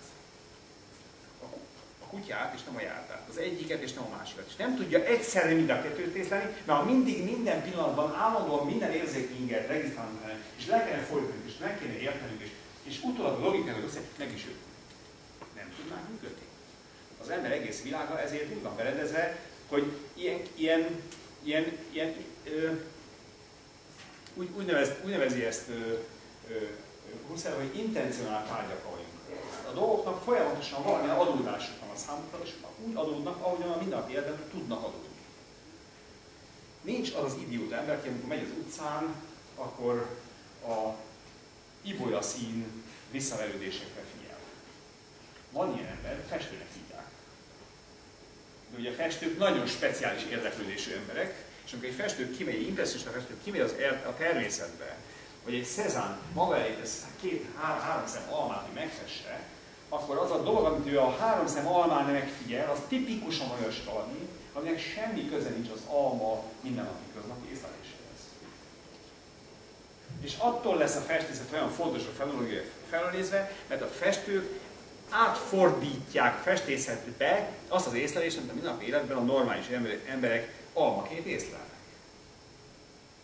Amikor egy festő megfest egy csendéletet, akkor neki át kell tennie a festészetlenül rendszerbe az észleletek azt a normál, természetes világát, amelyben az ember a, számára a dolgok. Ez egy távol. Nem tudom, hogy érthető ez. Ezt a transformációt kell elvégezni minden festőnek. És ez egy nagyon speciális munka, nagyon-nagyon speciális munka. Nagyon speciális figyelmet igényel, és ezért nem is sokat mond nekünk egy Cezanne kép esetében annak a megállapítása, hogy milyen típusú almát festett, vagy milyen fajtáit festett, vagy mennyire érett, vagy mennyire éretlen az az alma. Mert nem az meg, megevés szempontjából, nem az íze szempontjából, nem az almasága szempontjából fontos számunkra, hanem festőre fontos számunkra. Nem tudom, hogy ez, ez így, ez így világosan. Ez, ez az átfókusz, átfókuszálás a mindennapi életben az a minden, a hétköznapi életben minden dolog, nem tud máshogy, ember így, így van berendezve. Ilyen a fejünk, ilyen az agyunk, így, így észlelünk. Nem tudunk máshogy működni, csak így. És ezért tulajdonképpen minden, a festészetben többen állna azt kell nézni, szerintem, és ez az érdekes, borzasztó érdekes, ez sokkal érdekes, mint hitték. Mert, mert az, az lesz benne az érdekes, hogy mi, ami, mi az, ami pregnáns, és mi az, ami nem pregnáns. és hogyan változtatható, és milyen arányokban vannak, és hogyan változtatható meg a, a fókuszok, és hogyan utal, hogyan sejtett, hogyan vesz rá engem a, a festő, a néző arra, hogyan vesz rá engem arra, hogy ráfókuszálj, hogy én vegyem észre, hogy van még, van még más is. A képek rendkívül bonyolult, titokzatos játékot játszanak, csak ezt a folyamatos átfókuszást, a folyamatos, folyamatos játékát a pregnanciáknak és latenciáknak folyamatosan le kell játszani. A képek tehát nem dolgok, amelyek ábrázolnak valamit, hanem a képek folyamatos események, amelyben történnek dolgok. És ez az, ami igazából figyelni kell. Na, ugye mutatok egy-két példát ilyen pregnancia dolgokban. Hát nagyon híres kép. Fra Bartolomeo, Savonarról portréja. Igazi klasszikus reneszánsz profil, profil Ennél pedig másabb képet el nem kell képzelni. Ránézek, és semmi más nem látok, csak ennek, a, ennek az elszállt embernek a, a, az őrületre hatásos, határos érzékelem. És például nem érzékelem azt, hogy nagyon intenzíven oda kell figyelnem, hogy mégis mihez képest. Mi az a fekete háttér? És hogy van tagolva tehát hol is van a feje búbja? Miért olyan furcsa egyenes az a vonal, amelyik a kánzsáját lezárja? Nem tudjuk, nem tudok erre. De ez olyan kérdés, amit, amit a kép, ez a kép szinte annyira szuggesztív a prezenciája az arcnak, annyira szuggesztív a pregnanciája az arcnak, hogy a hátteret egyszerűen teljes sötétségként észleljük, mint hogyha semmilyen figyelmet nem volna méltó. Lehet, hogy a festői intenció ez volt. Vannak képek, amelyek nem a játékát hangsúlyozzák a prevenciának, hanem a kontrasztosságát. Ez előfordul. Ebben az esetben ez valószínűleg valami ilyesmiről van szó. Mutatok egy másikat. Ugyanek a megfordítása az egy nagy műfaj, divatos műfaj volt a, a, a 18. században, az úgynevezett ányképek, a sziluettképek boldog-boldogtalanul csináltak ilyen színvonalak. Tulajdonképpen ugyanaz, mint a Bartolomeo, csak fordítva. Nem az a különbség a kettő között, hogy az egyik inkább a másik kevésbé játszik a pregnanciával, mert mindegyik egyformán pregnáns. Csak az egyiknél a pregnancia az a, a figura húsvér jelenlétére, itt pedig a sziluettének a a jelenlétére fókuszálni. Kinek jutna eszébe a fehér hátteret nézni egy képen? És mennyivel lennék okosabbak, ha a fehér háttérre fókuszál? Semmi nem elég okosabb. Ez a kép üres. Ezért ez nem művészet, nem jó művészet, mert ez a játék üres. Nem történik semmi, nincs a nézésedről Na, akkor hogy mutassak egy, egy kedves példámat, egy kedvenc példám ennek a frekvencia alatt, ez a, a demonstrálására. Ez Rembrandt, egy Rembrandt fészkarc, az úgynevezett Ombal. Ez egy Amsterdam környéki ilyen városszéli, tengerparti, ilyen zsombékos. Egy ilyen, egy ilyen ö, ö, látszik, a, látszik a a város sziluettje, szélmalmok, csónakok, halász, mit tudom én, mindenféle van. És az előtérben van ez a fantasztikus, gazdag, bonyolult, zűrzavarosan növekvő többre facsonk, vagy, vagy, vagy ilyen, ilyen, ilyen élő növény, növény, növény, mi ez? Fűz, fűzfal, igen, lehet, hogy fűzfal, Mindenesetre egy, egy rendkívül gazdag, és hát ugye most is, is láthatjuk az, a, a leveleket, a fákat, a, a göcsörtöket, a, a, a, a, a, a közel és a távol nézetnek, az árnyékos ottmakat, a, a gyönyörűen ki, ki, ki, ki plastikázódó, kirajzolódó fa. Na, szóval ezt, ezeket ezeket a nagyon plastikus dolgokat, és ahogy említettem, ez egy részkarc, de ez is úgy működik, mint a festmény, hogy az ember látja ezt a csodálatos, eleve élő természetdarabot, és akkor kíváncsi rá hogy hogy csinálja. Most azt nem tudom, tudják, hogy a részkarc az egy olyan műfaj, amelyet gyűjtőknek találtak ki. Kicsit a bélyeggyűjtőknek kell hogy a bélyeggyűjtők is imádják a, ugyanak a nyomatnak különböző variánsait és a különbségeket szeretik számon tartani, és, e, és azért minél, annál értékesebb egy nyomat, minél jobban különbözik a, a másoktól, amiknek nyomatnak kell lenniük, tépnyomatok olyan értékesek a filatériában. Hát itt is erről van szó, hogy a, hogy a, a gyűjtők azok imádják a finom részleteket. Kezükbe veszik a nagyítót, és nagyítóval nézik azt a nagyon finom vonalszekret, amely előállítja, amelyik itt időnként ilyen egészen nagyvonalú, egészen könnyed, laza, egy-egy, tessék milyen szépen megadod, egy-egy, kis volással oldottam meg az egészet, és közben mellette pedig elképesztően aprólékos, precíz részletességgel belemegy a legfinomabb, legapróbb részletekben. Játszik az öko ökonómiájába, valamit nagyon megmutat, valamit meg éppen csak sejtett.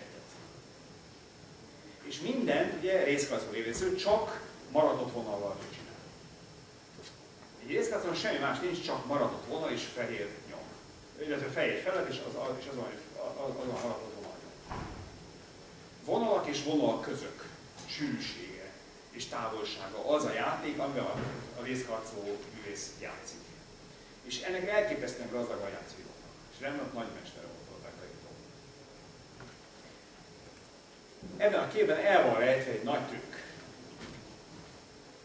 És a nagy trükk csak annak a számára válik nyilvánvalóvá, aki tudja, hogy hogy kell részkarcot nézni. És nem hagyja ki a részkarc nézéséből ezt a, ezt a közelnézetű, ezt a közelnézetű nagyítós játékot, mert ha jó közel néz, akkor észreveszi, hogy a, a zsombékosnak a legsűrűbbében egy szerelmes pár van Nem tudom, hogy ki lehet venni. Egy szerelmes pár van összebújva, azt is mondhatnánk, hogy a szerelmeseknek egészen addig, amíg nem találnak olyan nézőt, aki tudja, hogy hogy kell nézni, sikerül. És nagyon sok néző volt annak aki nem vett részt a szerelmeseket. Pedig ott vannak, bele vannak építve a kép játékába, csak annyira látensek, annyira bujkálnak, annyira rejtőzködnek, annyira nem pregnánsak, hogy csak azt tudja, hogy lehetnének még ott is, akik azt is tudja, hogy a képeken nem minden látszik azonnal, nem minden válik azonnal nyilvánvalóan. Egy nagyon fontos dolgot lehet ebből a képből tanulni. A képek időigényes kép játéka az időigény. Aki nem szánja rá a játékot, ezeket a, ezt a, a kereső játékot, a látens dolgok, el, elrejtőző dolgok, dolgok után nem megy, az nem fogja őket megtalálni, és ha nem fogja őket megtalálni, akkor, el, akkor eltűnt elő a játék is. Ezért van az, hogy én azt gondolom, hogy az egyik nagy gyengesége az oktatásunknak, egyébként ez nem csak Magyarországon így, az egész világban ez valóban, valójában így van, az az, hogy igazából nem, nem, tan, nem tanultunk meg képeket nézni. Tudják, hogy mi az igazi képzés játékának mi a legjobb gyakorlása? az én gyerekkoromban volt, akkor az valószínűleg azért többek közös gyerekkor lehetett, a fülesben lévő képrejtvények. Hogy ebben az ábrán el van dugva egy nyuszi. Ismerik ezeket a játékokat? Hogy hogy kell kiszínezni az azonos számok, számmal megjelölt, megjelölt mezőt. Hogyan kell, hogyan kell a, a, az absztrakt erdőben megtalálni a nyuszit. Hát ez egy ilyen játék. Csak ugye ott ki van preparálva, mint egy dedós játék. De a nagy művészet ugyanezt a játékot játsza, csak, csak hát sokkal magasabb rendű, mert ugye komplikáltabb, emberileg is komplikáltabb történeteket, meg, meg képileg is bonyolultabb játékokat játszik, mint ezek a filetes képrejtvények. De valójában a képrejtvényben benne van a képeknek ez az alapvetően játékos természet, ez az alapvetően a rejtőzködésnek és a megmutatkozásnak ilyen folyamatos csere, cseréjén, illetve, illetve, illetve váltáson alapuló játékban. Most egy kicsit föl kell gyorsulni, mert Jézus már fél kilenc. Ja, mi nem állított van. Akkor egy kis időm van, jó. Hát most, most már visszatérek, visszamennék, visszamennék a, a megpróbáljuk most ráfordulni a, a párnak nyomára is. Még egy dolgot kell ehhez elmondanom, mert ebben a dologban, amit most elmondtam, a kontrasztok, illetve az evidenciának a játékában még valami fontos dolog következik. Amikor képeket nézünk, akkor figurákról szoktunk beszélni. Itt van például egy portré, egy figura, egy, egy, egy arc, aki ott ül, a, egy portré, személyiség, aki ott ül a, a, a kép között. Van egy, van egy, egy, egy javaslatom, hogy hogyan módosítsuk a nyelvünket, hogy pontosabban értsük, hogy mit is kell többet Ne figurákról beszéljünk, hanem mindig konfigurációkról beszéljünk. Ha figuráról beszélünk, akkor mindig valami gondolunk. Azt hogy azt mondom, hogy ott van egy kutya az utcán, akkor azt mondom, hát az egy kutya, az azért kutya, mert hát mi más lenne egy kutya, egy figura. Valami evidensen önazonos, valami az, ami. És éppen az, hogy a mindennapi életben azért van szükségünk ilyen típusú általánosításokra, hogy ez egy kutya, az észlelésünknek azért van szükség a konstancia, hogy egy egységben lássa a dolgokat, mert a dolog tárgyi mi voltában érdekelt, mert a kutyáról tudja, hogy hogyan kell viselkedni. Arra vonatkozóan vannak neki rutinjai. Az emberi észlelés ilyen úgynevezett konstanciákból áll, ami azt jelenti, hogy az ember állandóan egység azonosként, sötét telen, sötét telemben vagyok, és keresem a krétát, a sötét osztálytelemben vagyok, és keresem a krétát, a kréta világítani fog a sötét telemben is. Akkor is egy tök sötét van. Mert tudom, hogy a kréta fehér, és a kréta fehérsége az egy olyan típusú tulajdonság a krétának, amely, amely a minimális különbséget, amit a vizuálisan lehet a kréta és a környezetet lehet, lehet észlelni, azt fölnagyítja az észlelésen. Mert, a, mert, mert abban vagyok érdekelt, hogy a krétán találja meg, és a krétának ilyennek kell lennie. Nem tudom, érthető ez. Intellektuális érzékelés, de nagyon erős. És nagyon, nagyon, nagyon, nagyon, nagyon pregnáns. Na most erre mondom azt, hogy ez tehát, a, amikor azt mondom, hogy figura, akkor tulajdonképpen azt mondom, hogy kréta, vagy azt mondom, hogy kutya. Tehát valami magától értődő egységet, egy, egy entitást ragadok meg figuraként. Hát a csávó is egy figura, hát tudom, hogy igen, egy férfi, egy férfi. Figura. A képek nézése azonban soha nem figurák nézése, mindig konfigurációk nézése. Sose a figurát, mindig a konfigurációt Vagyis mindig a figurát, meg azt a valamit, amihez képest ő figura. Tehát amikor azt mondom, hogy kutya, akkor ne csak a kutyát nézem, hanem azt is nézem, hogy a kutyához képest a járda, vagy a járdához képest a kutya. Minden dolog is úgy mutatkozik meg önmagaként, hogy mindig van egy környezete, amely nélkül nem lehetne önmaga, attól a különbség, ami a környezetről elválasztja, nem lehetne önmaga, de amely, ez, amely, amely, amely környezetnek viszont el kell tűnnie annak a érdekében, hogy én őt lássam, és ne valami mást. Nem tudom, hogy értető ez. Olyan valamit kell látnunk, ami folyamatosan elbújik előlünk, amikor konfigurációról beszélünk, akkor tulajdonképpen mutatok erre egy példát,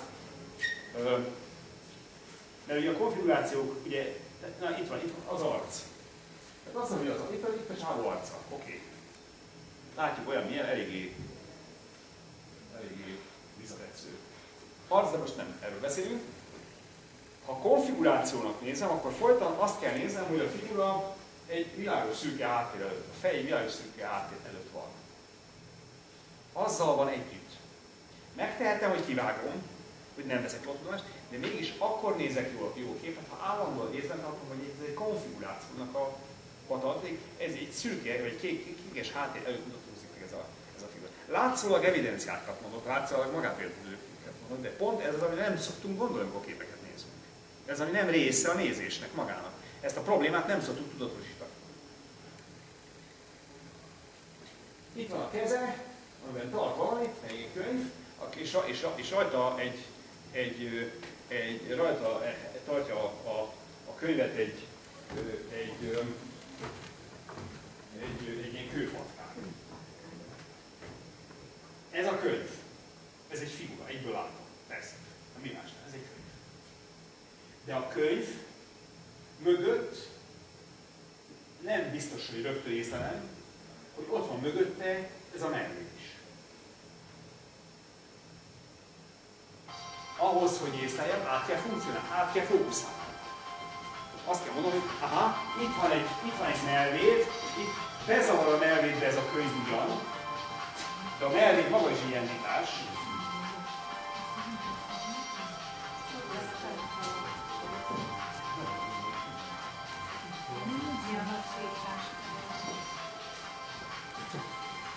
Bocsánat, van, van ilyen. Na, nem akarom ezt túlolgozni, csak azt akarom ezen mondani, tehát, hogy folyamatosan mindig, mindig mindent a környezetével egybe kell látni. És ha, ha így látjuk, akkor azt látjuk, hogy bonyolult portré, mint amilyen ez, nagyon sokféle dolog alkotja a, a, a konfigurációt, egy bonyolult rendje van. Minden dolognak van valamilyen konfigurációja. Az, ami az egyik pillanatban figura, az a másik pillanatban konfigu- ö, ö, környezet lesz. Ami az egyik, ugye a, a gestalt elméletben ezt úgy szokták nevezni, hogy alak versus alap. Ground, az angol szó használva ground versus figure, vagy figure versus ground. A figura és az alap. Vagy a, a, a fi, magyarul egyébként leg, leg, legegyszerűbb az alap helyett a hátteret mondani, mert az, az jobb. Csak ugye a háttér szavunknak van egy ilyen, van egy ilyen jelen, van egy olyan értelme, hogy az nem olyan fontos, ami a háttérben van. Itt, itt a gestalt elméletnek pedig pont az a lényeg, hogy minden egyformán fontos, illetve az észlelés folyamatosan ennek a kettőnek az állandó játékát föltételezi. És ezért mindig mindent a saját, tehát az, ami egy figura, egy, egy olyan dolog, amelyik az egyik pillanatban alapként funkcionál, egy másik pillanatban figurája lehet valaminek. Tehát mondjuk az előbb azt mondtam, hogy a, a könyv figurájának a, az alapja, a, a háttere, a, az, a, a, a, a melvéd, de ha a melvédre fókuszálok, akkor a melvéd fog, a hátterének viszont akkor a melvédnek például a, a figura sötét ruhája lesz az alapja. És de, de, de figyeltem a sötét ruhát. A sötét ruhátnak meg a kék háttér volt a, a háttere. Tehát e, valami, ami háttér, az, az, az, az következő pillanatban figurává válik, és, és ez egy funkció, tehát állandóan újra, mindig a látás dönti azt, hogy melyik az alap és melyik a figura. Nem, nem, nem önmagában semmi sincs ebben a tekintetben elrendezve. Ez maga, ez maga az internetes folyamat, ahogyan a képeket nézzük, és hogy a dolgokat megértjük. Csak a mindennapi életben ez annyira magától értődő, hogy ugyanis entitásokat látunk, és nem háttereket. Amikor önt nézem, és ön a figura, akire nézek, akkor például nem, nem kell látnom a, hát, a háttérben a zöld céget. Amihez képest az ön figurája nekem most adódik. És hát hülye is lennék, hogy állandóan azt nézem, hogy kinek mi a háttere. Hiszen a dolgokkal foglalkozunk, nem a konfigurációinkkal. Csak hogy a mindennapi élet az más, mint a kép képek viszont semmi más nem csinálnak, mint ezt a, mint ezt a viszonyt. A képek ebben különböznek a, a mindennapi élettől, hogy a képekben nem lehet megkerülni ezt a játékot. Ez a képek művészete, ennek a játéknak a művészi játszása.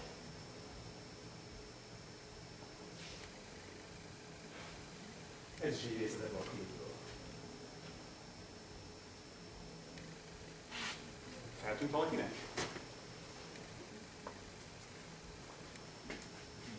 Ott a jobb oldalon. Ott volt. De ki az a bolond, aki így néz egy képet, hogy most akkor azt nézi ennek a fehér kő támlának. Hát az a bolond néz így, aki a festészet iránt érdeklődik, és nem csak a figurák mondjuk társadalomtörténet iránt. Mert az iránt is lehet érdeklődni. Parancsolj! A gyerekek így néznek egy képet marha jól emlékeznek minden kis részletre, mert egyáltalán nem, nincs még ez a sztereotípia. Pontosan így van, így nagyon jó. A gyerekek nagyon kevéssé fókuszálnak meghatározó, már, már nagyon jól ismert sztereotíp figurákra, és ezért egy csomó olyan dolgot is észrevesznek, ami, amit egyébként egy, nem kezd gyereknek lenni, felnőttem is észrevívni, csak ez, ez a fajta reflexivitás, ez a fajta figyelem, ez a fajta érzékenység kell. Az a tudás kell, hogy ezt kell csinálni a képeken. A képek ilyenek. Na jó. És akkor most ezt átugrom, mert ez már nagyon sok, ez nagyon messzire visz. Csomó érdekes dolog van, amiről beszélni. Most ezeket átugrom. Mert rá szeretnék térni erre a, erre a mindenféle problémára. Tehát ezt csak azért akartam mutatni, nem, nem tudom megmutatni. Holland tájképeket akartam mutatni egymás mellett. Tudom ezt? kell? Jó, hát pedig, na jó. Ez, a, ez, a, ez az okoskodás arról szólt volna, hogy a festészet az tulajdonképpen, ahogy az előző, például a, a Velázquez példában próbáltam ezt a, a, a kontrasztokról beszélni. A, a kontraszt és a, és a, és a figura alap közötti összefüggés világos. Tehát ez, ez többen ugyanaz, vagy majdnem ugyanaz, kivéve, kivéve illetve majdnem ugyanaz, és mégsem ugyanaz. Tehát a, próbáltam a fekete-fehér különbségét, tehát az ányképnél ezt, ezt, ezt, ezt, ezt jelezni, hogy ott a fekete és a fehér közötti különbséget, ezt, azt, azt lehet ugyan kontrasztnak nevezni, de az valójában nem így, nem, nem így valódi kontraszt, mert ott oly mértékig a fehér háttér, oly mértékig jelentéktelen, súlytalan és érték, értéktelen a figurához képest, annyira uralja a figura a képet, hogy nem jön létre közöttük ez a dialektikus játék, az összezártsági játék. Hogy össze vannak zárva, nem, tud, nem lehet őket egymástól külön választani. Persze így van, nem lehet őket külön választani. Tehát ha kivágnánk az ányképét a figurának, akkor, nem, akkor, akkor vége lenne a képnek. Illetve azt történik, hogy ha kivágjuk az ányképét a gőtének, a portréjának, akkor a fekete keretnek a, a alkalmas, alkalmasít adó színes háttere lenne a, a, a környezetes, csak nem lenne annyira pregnás. De egyébként nem lenne különbség. De azt akarom mondani, hogy ez, valójában ezt, ezt én nem nevezném kontrasztát. Nem úgy kontrasztot, ahogy a Velázquez kontrasztot csinált, meg ahogy a Picasso kontrasztot kidolgozta. Tehát a kontraszt az egy képen belüli játék. A, a, ö, és inkább azt lehetne, hogy nem minden figura alapviszony ö, ö, tehát, nem, tehát minden figura alapviszony kontraszt, de nem minden kontraszt figura alapviszony. És a festészetben tulajdonképpen az a lényeg, hogy vannak kontrasztok, amelyek nem figura alapviszonyok. Pontosabban szóval el lehet rájuk játsz, el lehet velük játszani ilyen szempontból is, ez messzire és ezt nem akarom, nem akarom túlbonyolítani. A, a mostani okoskodásunk az elegendő csak annyi, hogy a képek kontraszt struktúráként foghatók föl, minden kép kontrasztoknak a rendszere, konfigurációknak és kontrasztoknak a rendszere, a konfiguráció maga is kontraszt kategória. Tehát ezeknek a rendszer nagyon bonyolult, nagyon finom, nagyon gazdag és nagyon sokféle. És tulajdonképpen a festészet különböző irányzatai vagy stílusai abban a szempontból vizsgálhatók, hogy hogyan, hogyan szervezik meg ezeket a kontrasztokat. Milyen elvek mentén szervezik meg ezeket a kontrasztokat. És itt tulajdonképpen ez, a, ez, a, ez az okoskodás, amit itt kiindultam, ez tulajdonképpen a festészetnek egy, egy hát ez is Picasso, Picasso, ez Louis Lenin, ez egy nagyon fontos francia barokk festő volt, egy nagyon egy ilyen zsánerfestő volt tulajdonképpen, monumentális zsánerképeket festett. Ez a, a Louvre-ban van ez a, ez a képe, és erről a családról, amelyik áll a középen a, a családfőből, az asszonyból, kisgyerekből, két kisgyerekből és a, és a, a mamából, ebből csinált Picasso egy festett verziót. Ez egy viszonylag kisméretű kép, Picasso egy sokkal nagyobbat festett előre, a képet lehet látni, tehát 60, 61 78-as, tehát ez egy kis, kis zsánerkép. A picasso pedig 162 magas, ez nagyon nagy kép, majdnem akkor, mint a, mint a, mint a Las Mañas a variáció. Csak ott a, ott a, ott a, ott a, ott a Velázquez eredet is nagyon nagy, az még nagyobb még a, még a picasso is. Itt azon egy kis képből csinált, és az ez érdekes, hogy, hogy Picasso csinált egy festői variációt a Lönel Borzasztó érdekes, hogy mit művel a Brennből. A lényeg az, hogy most nagyon le fogom egyszerűsíteni, ö, ö, átírja a modern festészetben kialakult játékszabályok szerint, mentén, színesbe és mondjuk így az egyszerűség kedvéért poentilistába, tehát ilyen színes fény, színpöttyökből rakja ki a, rakja ki a, a, a lönenképet. a lönenképnek a sajátossága az, hogy ez egy majd, hogy nem monokróm barna, barnás színkép, ugye látszik, alig vannak rajta színek. Ugye a színek, a színek természetéről van szó, na, bocsánat, azt akartam mutatni. Ugye ez egy színes kép, tehát vannak rajta színek természetesen, tehát mit tudom én, ez egy vörös váza, ez a kenyér ez ilyen sárgás színű, ez a ruha ez kékes színű, ez valami vöröses, nem tudom mi micsoda, a bor vöröses színű, a, a, a, a fiúnak a haja szőkés, a másik gyereké barnás, tehát, tehát vannak színkülönbségek. Mégis az egész kép de majdnem egyfajta monokrom, monokrom jelleg, ilyen barnás monokrom jelleg jellemző. Az egész 10. század ebből a szempontból nagyon, nagyon érdekes volt, abban az értelemben, hogy, hogy, hogy a színeknek egy olyan rendszerét dolgozták, színhasználatnak olyan rendszerét dolgozták ki a, marokban, ami a, ez megint szintén a hollandokra volt jellemző, ott volt a legfejlettebb a típusú gondolkodás, mivel leginkább talán a 18. századi európai, 17-18. századi európai zene hang, hangrendjéhez hasonlítható.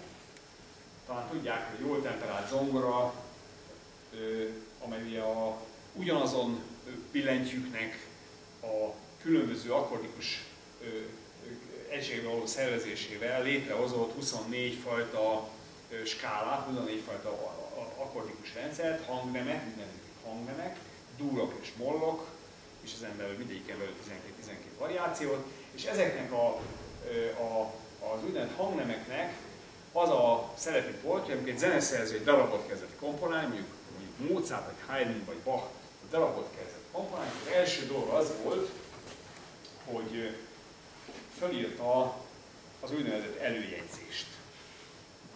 Emlékszünk rá, két kereszt, két B, mit tudom én, különböző ugye, moll és dur hangnemeknek más és más előjegyzés van. Tulajdonképpen ez nem jelent más, ez az előjegyzés, ez a hangnem, hogy eldönti, hogy ez a darab C-durban fog ívódni. Ez egy C-dur szimfónia, ez egy F-moll zongoraverseny, vagy egy, vagy, vagy egy G-moll négyes lesz. Ez azt jelenti, hogy az egész hangrendszer a darabnak ebben a, ebben a meghatározott tónusban, ebben a meghatározott hangnemben fog, fog lezajlani. Ez nem jelenti azt, hogy nem lehet ebből kimenni, mert a belül vannak modulálások, át lehet menni az egyik hangnemből a másikba, de a dalok alapvető szavai mindig vissza kell térni, ott nem fejeződhet be máson, amire elkezdődött, és az átjárásnak vannak szigorú modulációs szabályai. Tehát nem lehet csak úgy össze-vissza, hanem annak is megvan a maga rendje, hogy hogyan lehet. Ez tehát tulajdonképpen azt jelenti, hogy ugyanazok a, a billentyűk, ugyanazok a billentyűk különböző konfigurációkban, különböző össze, egy, egy összerendezésében más és más hangzásokat idéznek elő, és ezek a hangzásrendszerek, ezek, ezek kötelezően meghatározzák, egy ilyen koordinátorrendszert szabnak meg az, az zeneszerző számára. És ezt ő maga választja, tehát mindig ő eldönti, nem tud úgy darabot írni, hogy ne dönteni el, hogy most ezt ebben a hangnemben fogom írni.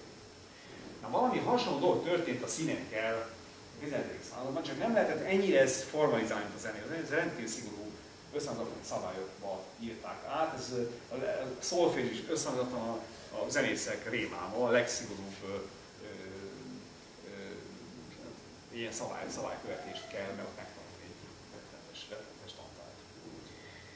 Tehát a festőnél nem volt ez ennyire szigorúan formalizálva, de, de formalizálva volt, illetve ott is kialakult egy ilyen, egy ilyen rendje. És ezt meg akarnám mutatni, három, három tájképet hoztam. Jan van Hoyen, egy nagyon, nagyon jó ö, ö, holland festő, festő ilyen, többnyire tengeri tájkat fest, három tök egyforma tematikai képet mutatok, mindegyiket az a festő festette. Tessék nézni a három kép közötti különbséget. Ez az egyik, ez a másik, és ez a harmadik. Látjuk a különbséget a három kép között? Ugye mindenket lássuk azt, amivel nem különböznek egymástól. Vagy hát majdnem nem különböznek egymástól. Mindegyik tenger, mindegyik sík, tehát, nyugalmas, nyugalmas tengerviszonyok vannak, ö, mindegyiken vannak, vannak halászok, ugye, és az ég volt. Hasonlítsuk össze két ég volt más szintonusba tettem.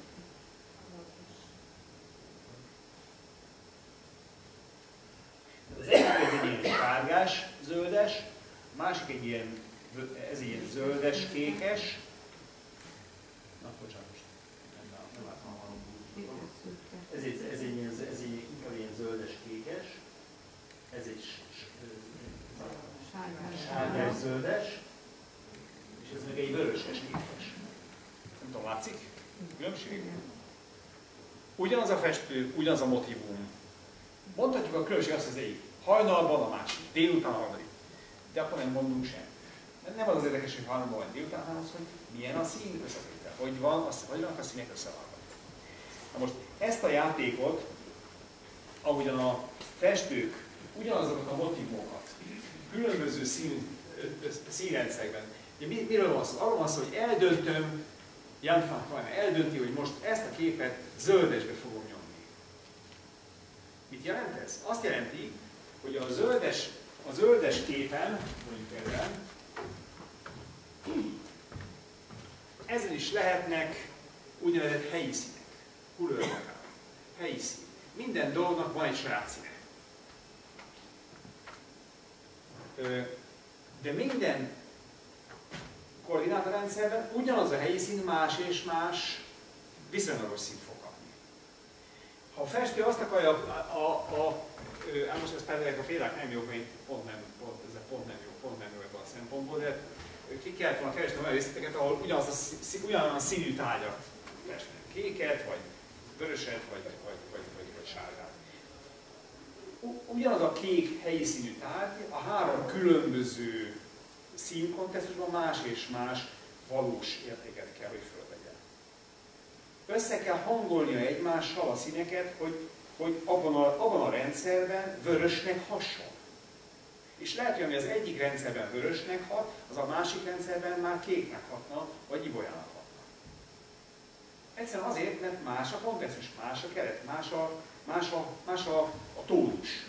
A tónusoknak a rendje az egy nagyon fontos festői feladat. Nem, ezért látták ki a festők, ezért látták ki a, a paletta nevű, nevű szerszámot. A paletta tudva lévőleg az a, az a felület, ahol kinyomja a, a, a, a, a nyers festéket, és ahol a, kikeveri azokat a megfelelő értékeket, amelyek aztán a, a, a, a kép feladat adott kontextusában aztán tényleg azt, azt az adott fogják képviselni, amit képviselniük kell.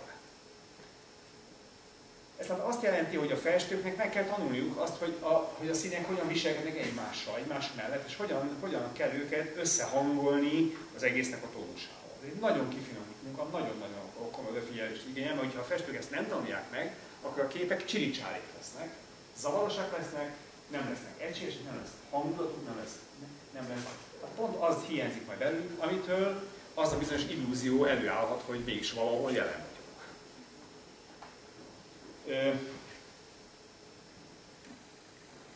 Na, Picasso. Hát igen, most ezt nem, nem tudom még nem, nem, még, most már, most már be- befejeztük, vagy be kell fejezni. De hát még csak most fordulunk rá. Még jussunk el a. Ö, Na jó, akkor most, akkor most, akkor most jussunk el a Newmanig. Jó. Jussunk el a Newmanig. Ez lett a Nikó képen.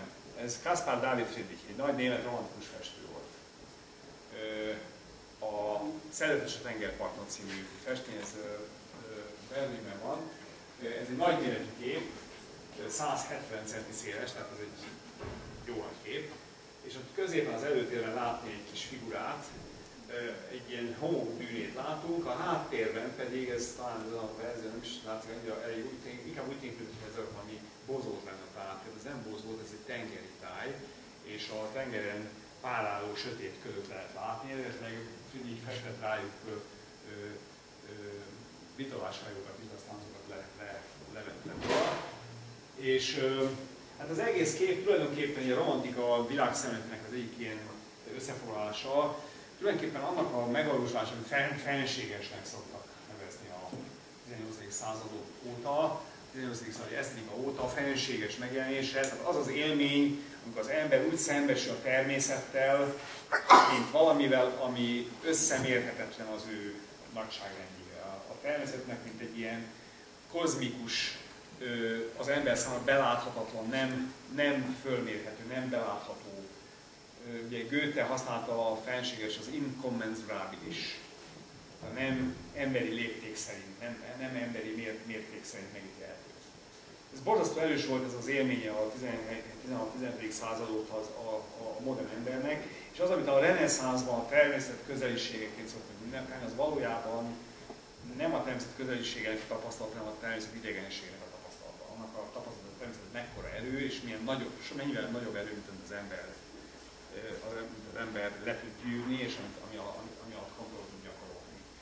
És a, a természet, ugye a, a fenséges természet, a, nem csak a természetre vonatkoztatták, hanem mindenféle Istenre, mindenféle kozmikus erőre és hatalomra, ami az embertől, ami az ember képességén és lehetőségén van.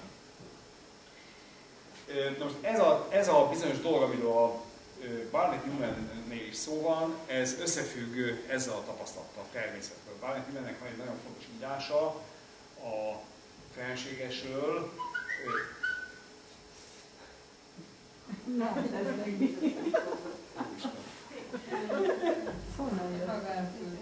meg, megszó, megszólalt, megszólalt a nem tudom micsoda. Ez még egy másik képe ugyanerről az élményről, egy, ez egy szerintem sokkal kevésbé jó kép, nagyon túl teátrális és túl dramatizált ez a, az ember szembesülése a, a végtelen nagysággal, az alpesi táj, és hát végsősorban a teremtés beláthatatlan léptékével. Na most azért gondoltam a, a, a, erre a szerzetes képre, mint egy ilyen alapvető és nagyon fontos összefoglalására a, a fenséges primájának, mert a fenségesben van valami borzasztó leegyszerűsítő, valami nagyon radikális, valami nagyon, vissz, ami nagyon visszamegy a, a legelemibb különbségtételre. Ugye a fenséges az nem arról szól, hogy, hogy, hogy mit tudom én, az ember meditál azon, hogy, hogy hát hogy is vannak ezek a természeti folyamatok. A fenségesben nem a természetet értjük meg, ott nem, ott nem megértésről van szó, hanem ott egy tapasztalatról van szó. Egy, egy bizonyos, egy kétségbeesésről, vagy egy, vagy egy, egyébként lehet felemelés a tapasztalat, mint ahogy a Bakkan mondja, hogy a, a kozmikus ég felettem és a csillagot, a kozmikus ég felettem és a törvény és a, az erkölcsi törvény bennem. Az erkölcsi törvénynek is olyan, olyan magasztos jelentőséget tulajdonított Kant, mint a, mint a, kozmi, mint a kozmikus tapasztalatnak. Tehát mindeste az a lényeg, hogy ez nem a, ez nem, megért, nem a megértése a természetnek, amikor nem a fenségeset találkozik, hanem inkább ennek, a, ennek, a, ennek, a, ennek, a, ennek, ennek az áthidalhatatlan szakadéknak a tapasztalata. Ez egy, ez egy tudás, egy tapasztalás, amit, amit, amit az érzékeinken élünk meg. És egyébként az embernek egy nagyon fontos szükséglete fejeződik ki ebben. Én nagyon elárulom gyenge, gyengémet, hogy én nagyon szeretem a katasztrófa filmeket. Nem azért a történetek annyira izgalmasak, mert rettenetesen gyűlöták, hanem azért, mert a jó katasztrófa film rendezők nagyon jó felséges effektusokat tudnak előállítani. És annak a megélése, hogy, hogy, mi, hogy micsoda nagyságrendekkel vagyunk, vagy vagyunk körülvéve, miféle, miféle az ember, milyen törékeny, milyen kicsi, milyen, milyen jelentéktelen tulajdonképpen azokhoz a méretekhez képest, amelyekben, amelyekben ö, létezni kényszerülünk, hát ezt, ezt meg kell tudni tapasztalni. Ezt, ezt, ezt, és az ember ráadásul egy olyan kényelmes világban él, ahol, ez, ahol, ahol óvja magát ilyen tapasztalat. A mindennapi életvilágunk az nem szeret Éppen ezért a művészet nagyon is szereti az embert emlékeztetni az ilyesmire, itt van a felső művészetnek nagy témája, és Barnett Newmannek is nagy témája volt. Most ez a kép azért nagyon jó erre a célra, mert nagyon leegyszerűsíti a dolgot. Tulajdonképpen nagyon egyszerű képről. Szinte nem látni a képen semmit. Egész pontosan lehet rajta látni, mert nagyon kifinomultan van megcsinálva semmi. Látni a háttérben egy sötét, fekete horizont, látni az előtérben egy vékony földnyelvet. Éppen azt is lehet tudni, hogy hol van ez a földnyelv, mert ez Rüggene szigetén volt, Észak-Németország az északi tengernek a partján. Friedrich művészetében nagyon jellemző az a topográfiai pontosság. Meglepő, hogy azt így képzelni, hogy 60 képeknél már ez nem számít, de őnek ez fontos volt. Tulajdonképpen mit látunk? Tulajdonképpen mit látunk? Tulajdonképpen nem látunk semmit, csak a különbséget látjuk a lent és a föld között. A föld és a, a nem föld között. Ö, azt a furcsa ö, tompított átmenetet, ami egy egy vagy-vagy, annak a határnak a vonalát, amely elválasztja a Földet az égtől. És ez azért érdekes, mert, és akkor egy pillanat itt vagyok kénytelen ebben a zsidó dolgokban egy mondat elég be, be kapcsolódni, mert ez érdekes dolog. Ugye a zsidó vallásban van egy nagyon szigorú viszony a képhez. Képek, a zsidók tiltják a képek használatát a vallás És általában a képekkel kapcsolatos nagyon óvatos pozíciót foglal el. A képtilalom, a zsidó képtilalom nagyon fontos eleme volt a zsidó vallási identitásnak, és ez összefügg azzal, hogy Istent nem lehet a, tulajdonképpen a zsidó ö, ö, ö, misztika értelmében, a radikális zsidó misztika értelmében megnevezni sem. Ugye nevet, nevet sem lehet neki adni, az a hang, amelyel megjelölik a, a, a Szentírásban, az maga is tulajdonképpen egy, egy nonsens, egy, egy, egy, egy, egy, egy, egy lehetetlenséget mond ki. Miért nem lehet neki nevet adni, és miért nem lehet róla képet csinálni? Ennek nagyon egyszerű oka van a zsidó vallásban, hogy nagyon bonyolult, ez pedig az, hogy azért nem lehet neki nevet adni, és azért nem lehet neki képet, róla képet alkotni, mert nem egy valami, nem egy elkülönült, a többitől külön tekinthető entitás, egy dolog, amit, amit, amire rá lehet mutatni, hogy ez, ő. Nem egy személy, nem egy, nem egy, nem egy partikuláris, valamilyen rész, részleges dolog, hanem valamilyen értelemben totális, abszolút. A zsidó Isten abszolútum. És az abszolútum az azt jelenti, hogy minden, amely megpróbálná őt ebben az abszolút mi voltában megragadni, annak nincs más eszköze, csak valami relatív, mert minden, ami képes arra, hogy me- me- me- megpróbálja őt megnevezni, vagy, meg, vagy leképezni, vagy, meg, vagy, vagy rámutatni, vagyis az ember, aki erre kísérletet tesz, hogy ezt valahogy a körülhatárra is rá, na ez ő, az embert is a saját végesség, a saját teremtményi végessége korlátozza ebben a, ebben a képességében. Ugye itt arról van szó, hogy a teremtő abszolút úr, abszolútum, és a teremtmény föl totális hatalommal bír. Az ember teremtmény. Az ember egy részleges, vége, véges valami. Az úrhoz képest olyan, olyan, ö, olyan radikális szakadék válaszol az úrtól, amit az ember soha nem tud ö, áthidalni. Az ember a maga végességében, a nyelvben, amelyel gondolkodik, a kultúrájával, amelyet maga köré épít, a képeivel, amelyeket magának ingál, a, a, a dolgokkal, amelyekkel körülveszi magát, mindennel, minden ilyen részlegességgel csak közelíthet ahhoz a valamihez, amelynek ő a része, de nem lehet képes azonossá válni. Ha azonossá tudna vele válni, ezek a a, a misztikus pillanat, a nagy ritka misztikus pillanatok, amikor a teremtmény azonossá tud válni az, az, az alkotójával, az egyszer ennek a teremtményi létnek a megszűntét is jelenti. Az ember ki kell, hogy lépjen az emberi világból ahhoz, hogy, hogy, hogy, hogy, hogy, hogy, hogy az Úr azonossá tudjon válni. Na most, mivel kezdődik a teremtés? Hogy jön létre a világ? A Genesis pontosan úgy van, egy elválasztó mozdulattal jön. Elválasztja az egyiket a másiktól. Elválasztja a sötétet a világostól, elválasztja a napot az égtől, elválasztja a vizet a földtől, elválasztja az eget a földtől, elválaszt, elválaszt mindig elválaszt. A teremtés elválasztás. Az elválasztás pedig különbségtétel. Valamit, ami az elején semmilyen különbséggel nem bír, semmilyen elválasztással nem bír, abba tagolást visz. Van az egy, az egy, az abszolút, és az egy oszlik meg. Válik ketté, válik négyé, válik nyolcá, válik tizenhattá, válik milliárdá, de folyamatosan mindig ugyanaz egy az, ami osztó. A teremtés az egynek a osztása.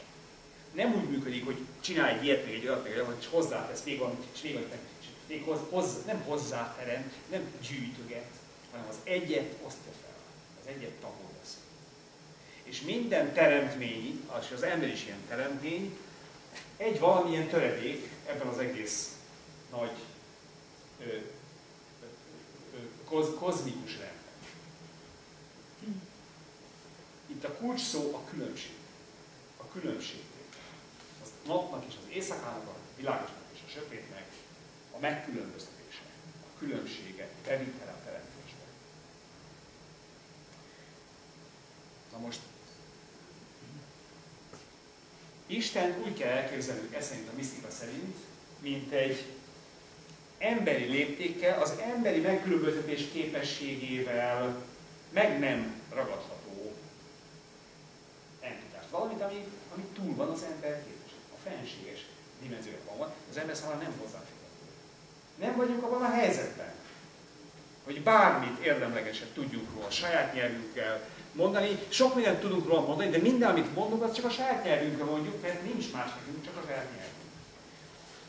Ugye a zsidó Isten a, a keresztény Istenhez hasonlóan ugye kinyilatkoztatáson keresztül működik. Tudjuk neki kinyilatkoztatás? Nagyon érdekes dolog van szó. Az ember, az, a, a, Isten megteremti a, az embert, megteremti a világot, és aztán a, a, a a, a, a világ tetejébe, a világ, mint egy ilyen kis díszpintyet, az embert is saját képes hasonlatos, hogy legyen valami kis szórakozása, leteszi oda a, a paradicsom közepébe, és azt mondja neki, hát akkor most téged is megcsináltak. Saját képére és hasonlóságára. Hogy mint egy, mintha Isten önmagában akarna gyönyörködni, az embert megcsinálja, hát az ember egy nevetséges kreatúra, ahhoz képest, aki létrehozta őt. És akkor az ember az a lény, ezt Hegel mondja a, a ö, szellemi fenomenológiájában, hogy az ember az a lény, az az állat, aki nem maradhat benne a paradicsomban. Az ember fogalmához tartozik, az ember nem maradhat benne a paradicsomban, mert nem lenne Istenhez hasonló, hogyha benn marad nem lenne Istenhez hasonlítja, elfogadná a saját teremtményi státusát, a saját végességét, és ezért az embernek ki kell jönni a parancsomból, tudnia kell azt, ami, megvan neki tiltva, éppen azért ember, mert az embernek szakítania kell a tudásfájáról, ha az ember nem szakít a tudásfájáról, akkor nem volna ember. Vagyis nem volna Istenhez hasonló. Azért kell a tudás fejlődő szakítanunk, mert nem, tudjuk, nem tudunk megmaradni a puszta teremtményiség státusában, az ember nem tud, az ennek lázadnia kell a saját teremtményi végességével szemben. Ezt teszi az embert emberi. Ett, ettől lesz ő tényleg a teremtés koronája, de ettől lesz sebezhető is, ettől lesz bűnösség, ettől lesz, ettől tesz, teszi ki magát aztán annak a nehéz sorsnak, amit ugye azóta is érünk. Na most ebben a logikában az emberi világ a megkülönböztetések világa. Nekünk semmi másunk nincs, csak a különbségeink. És megpróbáljuk a sok különbségből összerakni azt az egyet, amiből ezek a különbségek létrejöttek, és ez persze, persze lehetetlenség, ez képtelenség. Az ember nem tudja összerakni azt, amit, amit nem ő szeret szét. A kinyilatkoztatás az a furcsa kommunikáció Isten és az ember között, hogy Isten az emberrel közli amit közölni akar. Borzasztó érdekes. Isten az nem egy személy, az nem egy valaki, az nem egy apa, az nem egy jóságos ember, nem egy mérges öreg úr, nem egy ö, Isten nem egy ember, egy személy. Nem tudjuk, az embernek rendelkezésére álló kategóriákban nem lehet megragadni. Hát ez a lényeg, hogy nem lehet megragadni. Minden, amivel az ember körül tudja írni, az mind csak valami aspektus, valamilyen vonatkozás, de nem ő maga, nem az maga, hiszen az maga hozzáférhetetlen, inkommenzurális, az ember számára nem rendelkezésre áll. Nem is vagyok abban a helyzetben, hogy Isten diskuráljak. Hihetem én azt persze, próbálkozom, próbálkozom mindenféle módon én nem vagyok hívő ember egyébként, és el is kérek mindenkit, hogy esetleg frivolak hangzik, amit mondok, de azt, hiszem, hogy nem, nem, én nem frivolnak gondolom ezt, ez fontos dolog ez. Tehát, hogy itt arról van szó, hogy az embernek nincs, az ember nincs abban a helyzetben, hogy, hogy díleket kössön Istennel. Nem vagyunk pariban, nem, nem, nem, nem, nem, nem vagyunk egy, egy, egy súlycsoport, vagy így És ezért az történik, hogy Isten az emberek valamit akar közölni, akkor nincs más módja, ennek az ember ezt a közlést tudomás vegye, mint ennek a közlésnek be kell hatolni az ember számára egyáltalán hozzáférhető világba. Tehát például nyelvi alakot kell öltenie. A Szentírás, amit úgy neveznek, hogy, hogy, hogy, hogy Isten, Isten igéje, Isten kinyilatkozása, a Szentírás az emberi nyelven írott. Emberi szavakkal, emberi figurák, emberi nevek, emberi ragozások, emberi...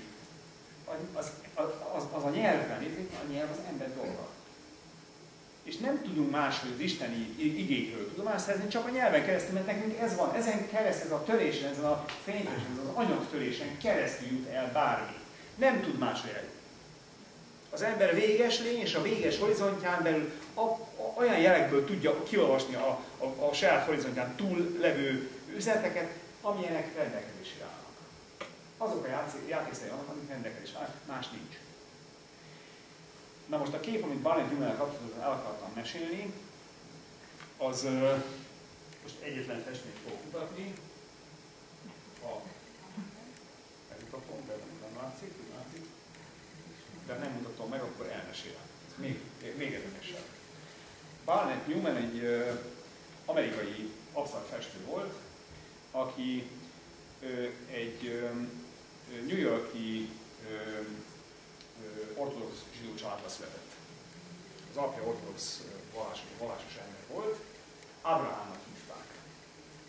És Barnek Newmannek van egy festménye, amit 1948-ban festett, ez egy 2 méter magas és kb. 80 cm széles tábla, és egy fekete felület.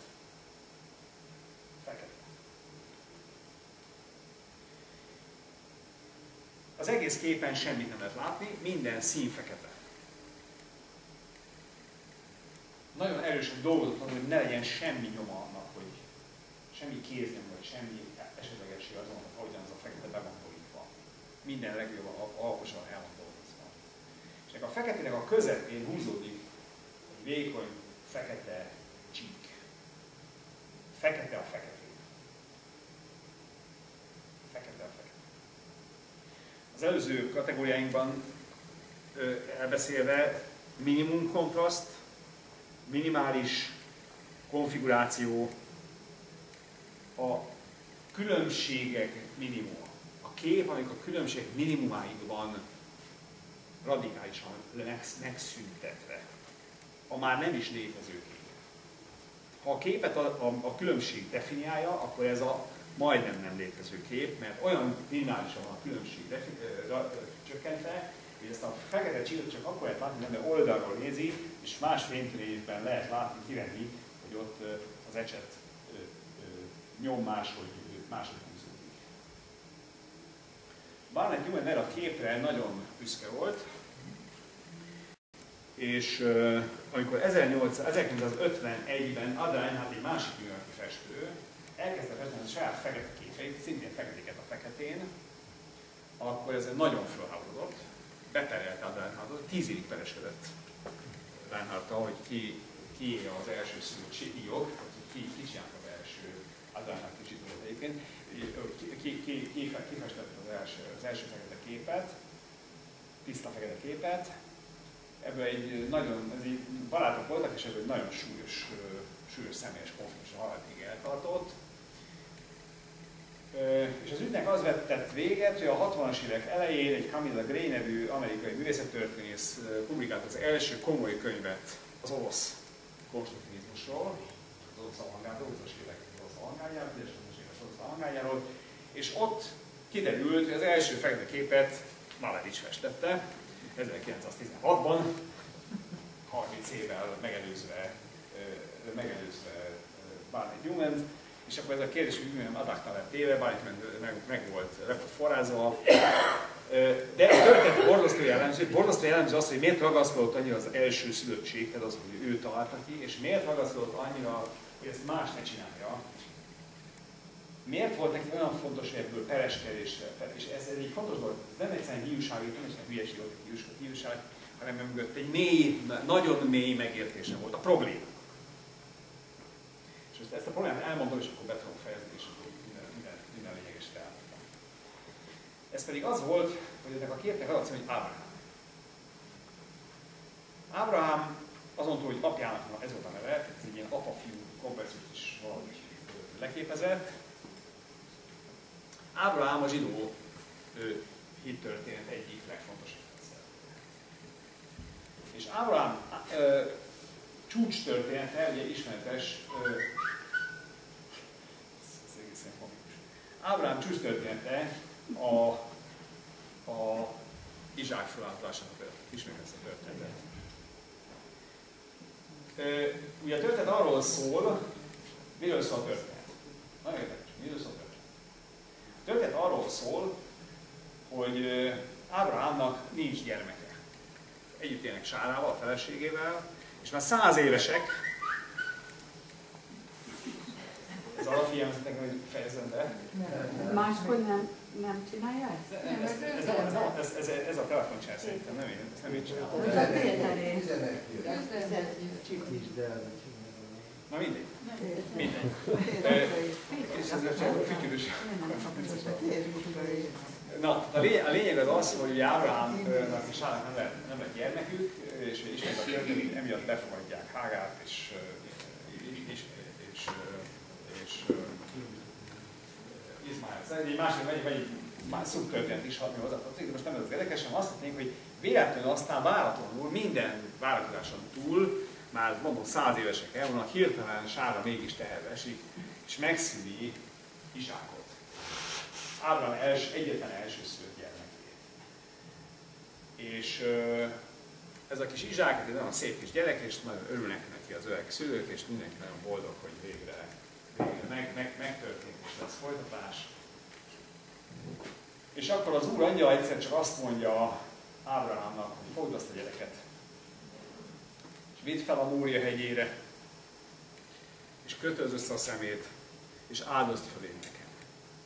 És akkor Ábrahám fogja a gyermeket, elindulnak, háromnapos út a gyerek nem érti, hogy hova mennek, édesapám, ilyen kis serdülőkorú kis, kis legényke lehet, szép, nagyon szép gyerek. Édesapám, hova megyünk, és akkor Ábrahám kitérő válaszokat ad. És nem Ábrahám elmondja, hogy feláldozzuk a váltatlan bárányt. És hát a vége az, ugye, hogy tudjuk fölérnek a Mória hegyére, Ábrahám beköti szemét, és ugye az történik, hogy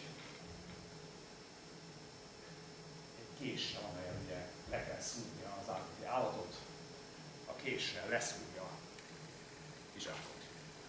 Megöli. Megöli Izsákot. Hogy? Nem öli meg. Nem öli meg? Megöli. Megöli. Bocsánat. Megöli. Isten tartja vissza attól, hogy... Az Isten visszatartja, de ő megölte. Na ez a lényeg. Ő megölte. A kegyelem az akkor jár, amikor már megtette. Nincs díj. Nem lehet. Az úrral nem lehet lacafacázni. A történet ereje abban van, és ez borzasztó erő. Hogy megöli. És ezt csak így szabad elmesélni, különben el, elkenődik a történet. Ez nem egy happy end, ez Ábrahámnak a megsemmisülése. Nem, mert ő azt mondta, hogy az Isten gondoskodik, és azért csinálta végig. Mert tudta, hogy na de most, el, na, igen, na. tudta, hogy abban a pillanatban. Nem tudom. De, de, de, de Isten, ha tudta volna, hát ez az, hogyha tudta volna, akkor könnyű lett volna. Ha bizalom az Istenbe, akkor ő melyik engedelmeskedik az Istennek. Addig, amíg az emberi észhatárain na, na, na, itt teszed ki volna a véget. Az emberi észhatárain túl. Na de ő tudja, hogy az Isten gondoskodik. Na de honnan tudja? Meg tudja, mert Hát- hát, megtapasztalta eddig Nem, nem, nem, nem tapasztalta. Nem, nem, nem, ezt, ezt, nem, ezt nem tapasztalta meg, és ezt nem is tudja ember megtapasztalni. Pont ez a lényeg. mert nem engedelmeskedne, nem tudja. Mint ahogy a Sári nyilván mondta, Hát hogy ez- ez, nem hát- vagy bolondulva, hova megyünk, hova, hova mi megyünk ki a földünkről, amikor van valami. Ruha fenébe indult el, nyilván szitta a feleség egyfolytában. Hát persze, De- persze de- mert, mert, mert, mert normális ember módján viselkednek. Mindegyik normális ember. Emberek. Hát Azért mondom, hogy akkor valamit csak kapott az Istentől, hát különben ne, különben ne. De bocsánat, ne, nem kapott, adott. Hát adott, de csak akkor ad, hogyha ő, neki van egy tapasztalata. Térjünk már vissza a festészetre. Eh, Igen. De, de, de, de bocsánat, ez na- nagyon, nagyon, nagyon fontos, nagyon fontos elemet is, mert a lényeg, a lényeg, ez a lényeg, ezt, ezt kell megérteni, ez a probléma, ezt kell megérteni. És ez, ez, a, ez, ez vezet bennünket vissza a festészethez. Ugyanis miről van szó?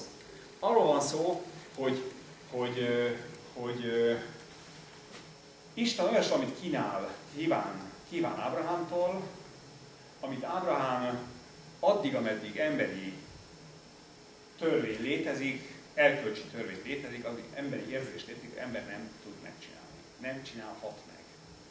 A- Ilyet csak olyas valaki csinálhat meg, aki kilépett az emberi világból. Isten ezt követeli Ábrahámtól.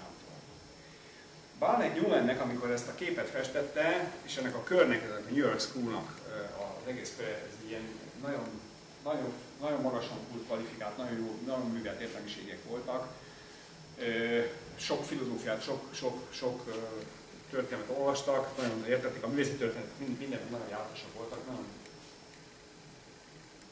delikát, intellektuál kör, rendkívül elitisztikus kör volt. Filozófiai, kedvenc filozófiai olvasmányai közé tartott Kierkegaardnak, a nagy Dán filozófusnak a Félelem és Reszketés című kis, kis könyvecskéje. Ez egy vékony kis könyv, nagyon is olvasható, mindenkinek ajánlhatja ezt a, ezt, a dolognak a mély, mélyre kell pillantani. Ez, ez a Félelem és Reszketés Ábrahámról szól, és arról, hogy milyen, mind kell keresztül menni Ábrahámnak, hogy a hit lovagjává válhasson. Ugye ez a, ez a leg, legmagasabb stádium Kierkegaardnak a, rendszerében, a hit lovagjává válni, vagyis olyanná válni, aki meg tudja tenni ezt a, ezt a, a hit annyira erős benne, hogy meg tudja tenni ezt a, ezt a lépést. Ugye itt a hit erejéről van szó, a hitnek pedig az a lényege, és ez a lényege, hogy nincs benne bizonyosság. Ha tudta volna, az nem hit lett volna. A hitnek pont az a lényeg, hogy nem lehet tudni, és mégis megteszi. Mert aki tudja, az már kalkulál. Úgy könnyű. De semmilyen garancia nincs rá, semmilyen, semmilyen, ö, ö, ö, hogy mondjam, semmilyen ö, bizony, biztosíték nincs arra, hogy ez, hogy ez be is fog következni. Például már az, hogy megszületett az a gyerek, már az neki egy nagyon nagy Isten tapasztalat. Annál nagyobb veszteség azt, hogy el kell, el kell, el kell, el kell me, hogy, hogy, hogy, hogy meg kell tőle, meg kell, meg, meg kell tőle várni. Pont ez, ez a lényeg. Szóval Isten tulajdonképpen azt lehetne mondani, pokoli játékot játszik Ábrámmal. Pokoli játékot. Egy szörnyeteg, mondhatná nyugodtan. Ez az Isten, ez egy szörnyeteg. De az Isten nem szörnyeteg, az Isten csak nem ember. A lényege pont az, hogy az emberi kategóriák, az emberi érzések, az emberi erkölcs, az emberi szeretet, az emberi kötelezettségek, az ember, Isten számára nem, nem kötelezettségek. Vagyis az a lényeg, hogy Isten ahhoz, hogy Istennek meg tudjon felelni, Ábrahámnak ki kell lépnie az emberi világból. El kell jutni az ember lehetőségnek a határaig. És ő erre képes. És mivel ezt a lépést megtette, ezért kegyelemben részesül. De csak azért részesül benne, mert megtette. Ha menet közben elkezdett volna alkudozni, hogy hogy lehetne mégis valami dealer ebből a dologból mindenki jó járjon, alapon, akkor, ott, akkor nincs, akkor nincs, akkor, akkor, akkor nincs, akkor nem mondhatod, hogy nincs játék. Nem tudom, hogy érthető ez. Az emberi egzisztencia határértékénél vagyunk. Ami az embert emberé teszi. Barnett Newman megfestette a létező legkisebb különbséget, ami egy képen lehetséges. Ha egy képen nincs különbség, akkor kép sincs. A képet nem a keret definiálja, hanem a kereten belüli kontrasztok játéka. Ha nincs különbség, ha nincs kontraszt, akkor nincs kép sem. Ha nincs valami, aminek meg kell jelennie abban a nem létezőben, akkor, akkor, akkor nincs kép. És Malevics egy orosz avantgárd volt, aki ráadásul pravoszláv hitű volt eredetően, és az, az, ő, az ő elképzelésének semmi köze nem volt a, ebben az értelemben kereszténységhez, a zsidókhoz végképpen.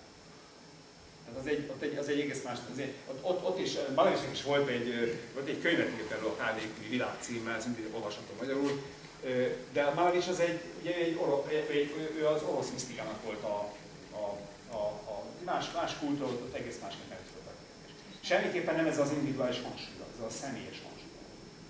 A különbségtétel az csak akkor érdekes, hogy az ember az emberi világ felől. Még egyszer. A zsidók tiltják a, kép, a képek állítását, mert a képek azok azt a benyomást keltik, hogy rendelkezhetünk a föld, akit ábrázolunk. Isten nem lehet ábrázolni, Isten föld nem lehet rendelkezni. Isten nem lehet befolyásolni. És az emberek tudomásul kell venni, hogy a kép ezért tiltott dolog, mert olyan típusú különbséget tartalmaz, ami azt az embert arra emlékezteti, hogy rendelkezhet a, a, a, a különbségek fölött. Isten az, aki a különbségek fölött rendelkezik. Ő, ő rendeli. Az ő teremt, teremtése a, a világ, a világ pedig különbségből áll. A világot pont azt teszi világszerűvé, hogy a gazdagság és tagoltál, hogy sok különbség van benne. És az egysége az, amit tulajdonképpen nem lehet belátni. Az ember számára pedig mindig csak a különbségvilág adódik. A nyelvek, a népek, a, a, a kultúrák, a vallások, a hitek, a, a, a mindenféle emberi dolognak a különbötése. A sokféle ennek az egymás eltérése. Az egész emberi kultúra a különbségek kultúrájának a, a, a, a, a, a, a, kult, a kultiválása. Ez, amit elmondott a festészetről, a színek rendszeréről, a, a formák, a, a konfliktus, ezek mind a különbség játék. Tehát ha a festett el tud jutni önmaga olyan felszámolásáig, ahova, ahova Barnett Newman eljutott az Ábrahám és az, az a fő különbség és ezért nincs igaza, hogy nyugodtan perelte volna, és maradhatott volna a saját magánál a Barnett Newman, azután is kiderült Malevicsről, hogy ő már csinált egy fekete képet, mert Malevicset nem érdekelte a különbség. Malevicset nem érdekelte ez a dimenziója a misztikának, ez az emberi, az emberi dimenzió. Ugye ne felejtsük el, ez nagyon fontos. Ábrahámnak egy döntést kell hoznia. A vagy-vagy kérdése mindig itt van előtte. Ugye, dönteni azt tud, aki külön, aki, aki előtt külön, különböző alternatívák És tulajdonképpen, amikor megöli a gyereket, akkor tulajdonképpen arról van szó, hogy feladta az utolsó különbségtételt már nem állítja szembe az emberi alternatívát az Istenével. Már nem választja az életet a halál helyett. Hanem átadja magát ennek az ember számára tulajdonképpen az állatoknak. Föladja az utolsó magyarot. És teljesen, teljesen azonosul azzal, amit, amit tőle a teremtője kíván. Ezen a ponton van vége az embernek, és ezen a ponton van vége a festészet.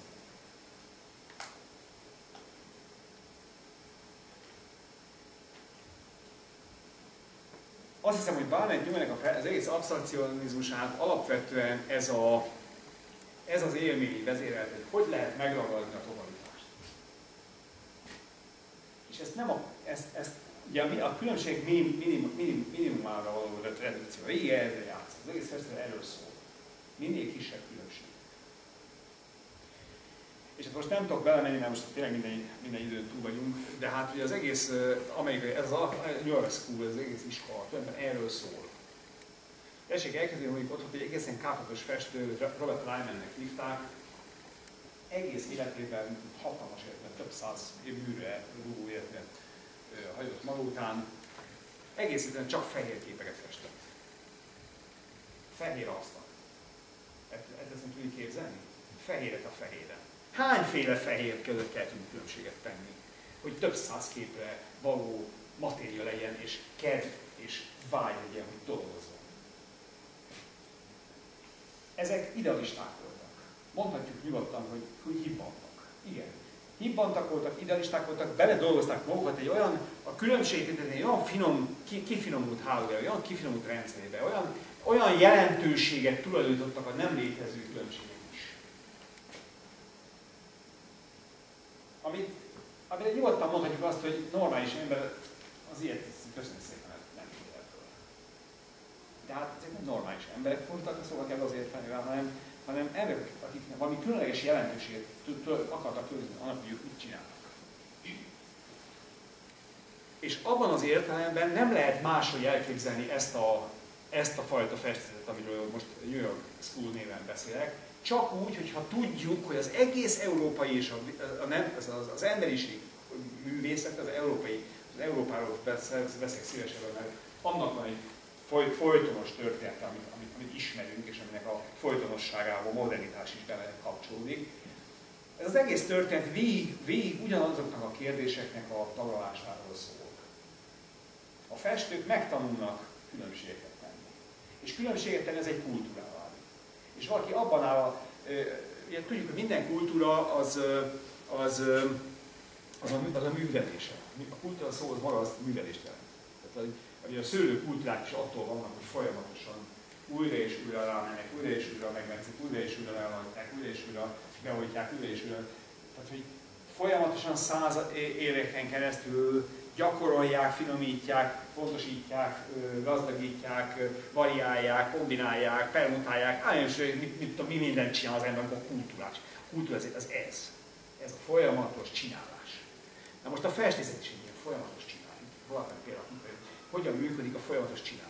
És ennek a folyamatos csinálásnak a, a, benne kell lenni a sodrában. Érteni kell a különbségek jelentőségét ahhoz, hogy bármelyiknél eljuthasson oda, hogy nem különbség, különbség nélküli képet akarhasson.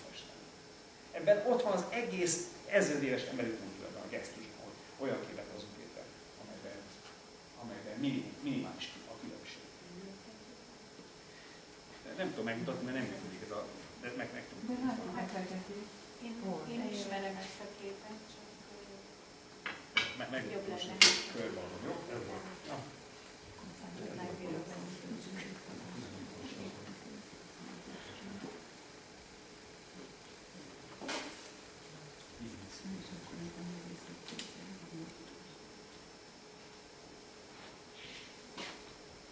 ez a, ez a fotó egy kicsit csal. Erősen a különbség a másik, amit valójában lehet ismerni.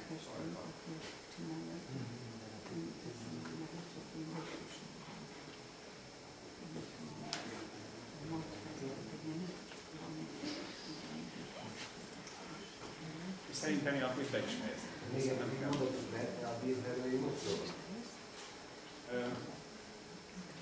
Mert igazából most ez tényleg nagyon jó ez a állomás, de igazából akkor mennek a, a, nem kell sokat a pár.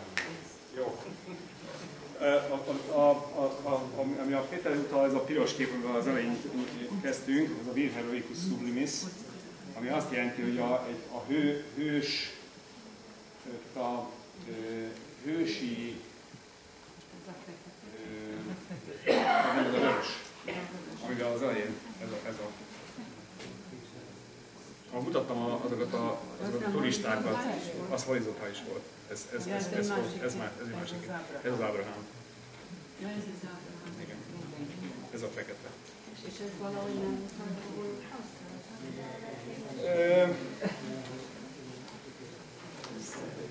amennyire én tudom, nem, de, de az, arról, amiről most beszéltem így a végén, ez a zsidó képfilm és egyébként, ennek nagyon, ennek nagyon komoly köze van a holokauszt művészet későbbi fejleményéhez. Ez nagyon szorosan összefügg a teljesen másik téma, most ebbe hagyd ne menjek bele. Nagyon érdekes dolog, nagyon, nagyon megrázó dolgok vannak a holokauszt művészetben, akik szintén ugyanerre, ugyanerre a végsős ugyanerre a meggyőzésre futnak ki, amiből tulajdonképpen az Ábrahám kép is kiindult. Ez egy, ez egy olyan értelemben nagyon benne volt a levegőben természetesen 48-49-ben Amerikában. De, de közvetlenül Newman nem, nem, nem ezek az európai ügyek befolyásolták. Tehát fontosabb volt az olvasmányélmény, meg a, meg a lehet mondani ez valami. Igen? hogy volt a pszichológiában egy olyan emberke, aki ezzel foglalkozott, a, a minimális különbségeknek a pszichológiájával, úgy hívták, hogy S. Egy nagyon-nagyon fontos pszichológus Amerikában, ASCH ígért a nevét. Ő ki, kidolgozott egy elméletet, és volt a időszak, amikor ő határozta meg, hogy ki az, aki nem képes, nem, nem, nem képes egy társadalomban együtt élni másokkal. Hanem gyakorlatilag egy titkelt bolondok házába zárni, és ezt ő vezette fel. igen, most a, a, tehát a, a pillanatban a képek, a képek és a különbség összefüggés. A képeket, mondom, a képeket a különbség érteti. Az a kép, amiben nincs különbség, az nem kép. És a különbség az ugye ezek a kontrasztok, konfigurációk, és mindaz, amiről itt szó esett, ezeket mind tulajdonképpen bele, bele, lehet, bele lehet forgatni. Az elején mutattam azt a képet, a Barney Kümenek a nagy vörös képet, és az 5,5 méter hosszú és 3, nem tudom milyen, 340 magas, hatalmas képről van szó, és ezt a két turistát előtte, aki az egyik nagyon közel áll hozzá, ha emlékeznek rá, egy ilyen komikus, komikus dolog.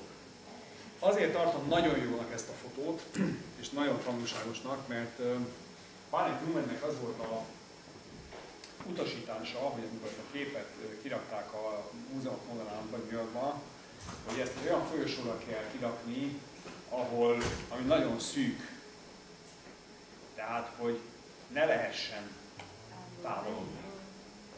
És ez nagyon, ez nagyon figyelemre most arról nem beszéltem itt, pedig ez érdekes dolog, a, a képek tört, a képek a nagyon fontos aspektusa a képek megközelíthetősége.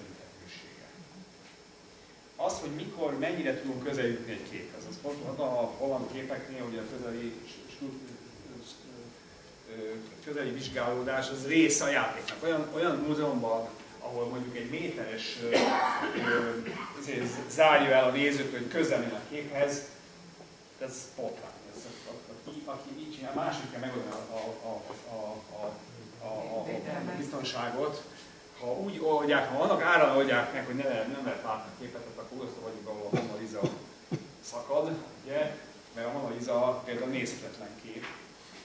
Nem csak azért nézhetetlen kép, mert, mert 5 méterre nem lehet megközelíteni a sok biztonsági őrtől, meg üvegtől, meg nem tudom micsodától, ami ugye azt jelenti, hogy egy fétistárgyat nézzük, nem a művet nézzük, nem, fest, nem, a fest, nem a képet nézzük, hanem a fétistárgyat nézzük, vagyis nem is nézzük, hanem csak látjuk, hogy ott van egy objektum, van, ami körülöttől a cirkusz van, és az ember igazából csak azért mert hogy kipipálás, hogy én azt is láttam, ott is voltam, és self, lefelé szelfizzel magát, a Mona a háttérben. Borzasztó.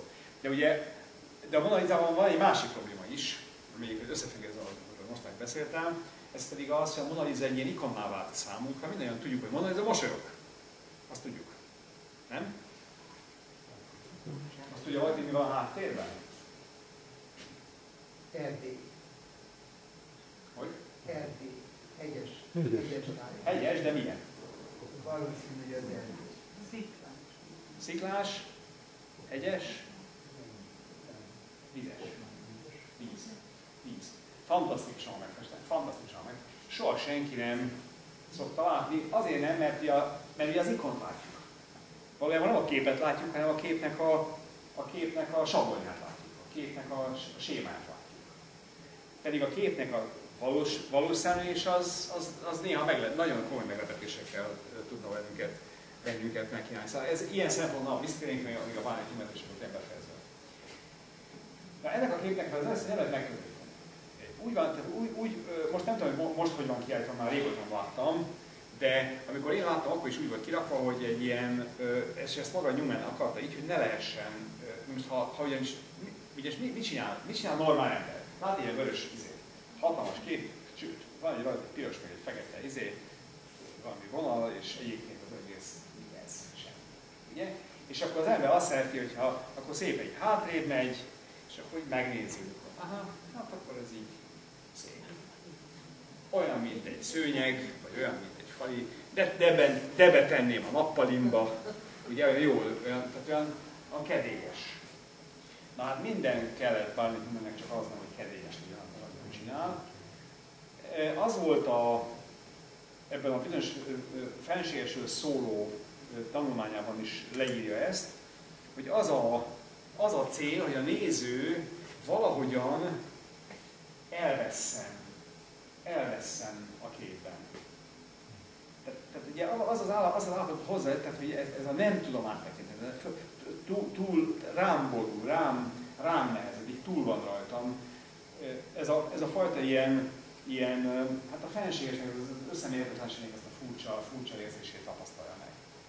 Most én tudom, hogy a Péter az, azzal kezdte még annak idején, amikor először beszéltünk erről, hogy, hogy, hogy én egyszer már volt erről szó közöttünk, és akkor én, hogy egyszer elment, hogy elmentél, és ott voltál, és akkor nem jött, nem jött az az érzés. Igen. Igen, hát ez nagyon érdekes dolog. Ugyanis nem, itt nem, nem csak arról van szó, hogy ezek a dolgok nem, ezek a dolgok nem automatikusak. Nem úgy működik, hogy benyomom a gépet, és akkor működik. Ehhez, ehhez sok minden kell. Ez kell, kell túl azon, hogy kell egyfajta ilyen, egyfajta ilyen nyitottság és érzékenység az ilyen típusú. Tehát, hogy valakiben legyen annyi legyen annyi ö, hajlam, vagy kedv, vagy, vagy, vagy csak belső, belső bizonytalanság, hogy nem tér ki az ilyen típusú élmények elől. Ugye a művészet az soha nem, ez nem kötelező, ez nem, az nem, az nem, az nem egy az nem, az nem úgy működik, hogy, hogy, hogy, hogy, hogy, hogy bár egyébként, bár egyébként azért én nekem van egy olyan ö, elgondolásom, hogy a jó művészetben van, annak van kényszerítő ereje. Tehát az, az képes rá kényszeríteni a nézőt, nem engedi a nézőt ahhoz, hogy, hogy, hogy, hogy kitérjen a, a játéka előtt. Az előbb mutattam ezt a főképet a Szerzetes tengerparton. Ez 1809-ben készült ez a kép, vagy 7, de ez 1900-es évek legelején készült, és 1810-ben a nagy német romantikus író Heinrich von Kleist, aki akkor a Berliner Abendblatt című lapnak volt a szerkesztője, kért és kapott egy kritikát erről a képről Achim von Armintól, aki egy szintén német romantikus költő volt, német népmesegyűjtésnek az atya, Árnim és Brentano, és ettől az Árnimtól kért egy, kért egy erről a képre írás is, és megkapta az írás, de az írás nem tetszett neki eléggé, és átírta. Tehát a szerkesztő kicsit beleírta a szerző írásába, vagy egy nagy botrány lett, plagizálási botrány lett, de viszont Kleist Jenny volt szemben Árnimmal, aki csak egy jó volt, és írt, beleírt ebbe a tikába egy mondatot, amely amely azt mondja, hogy olyan ez a kép, mint amikor az embernek leborotválják a szentélyát.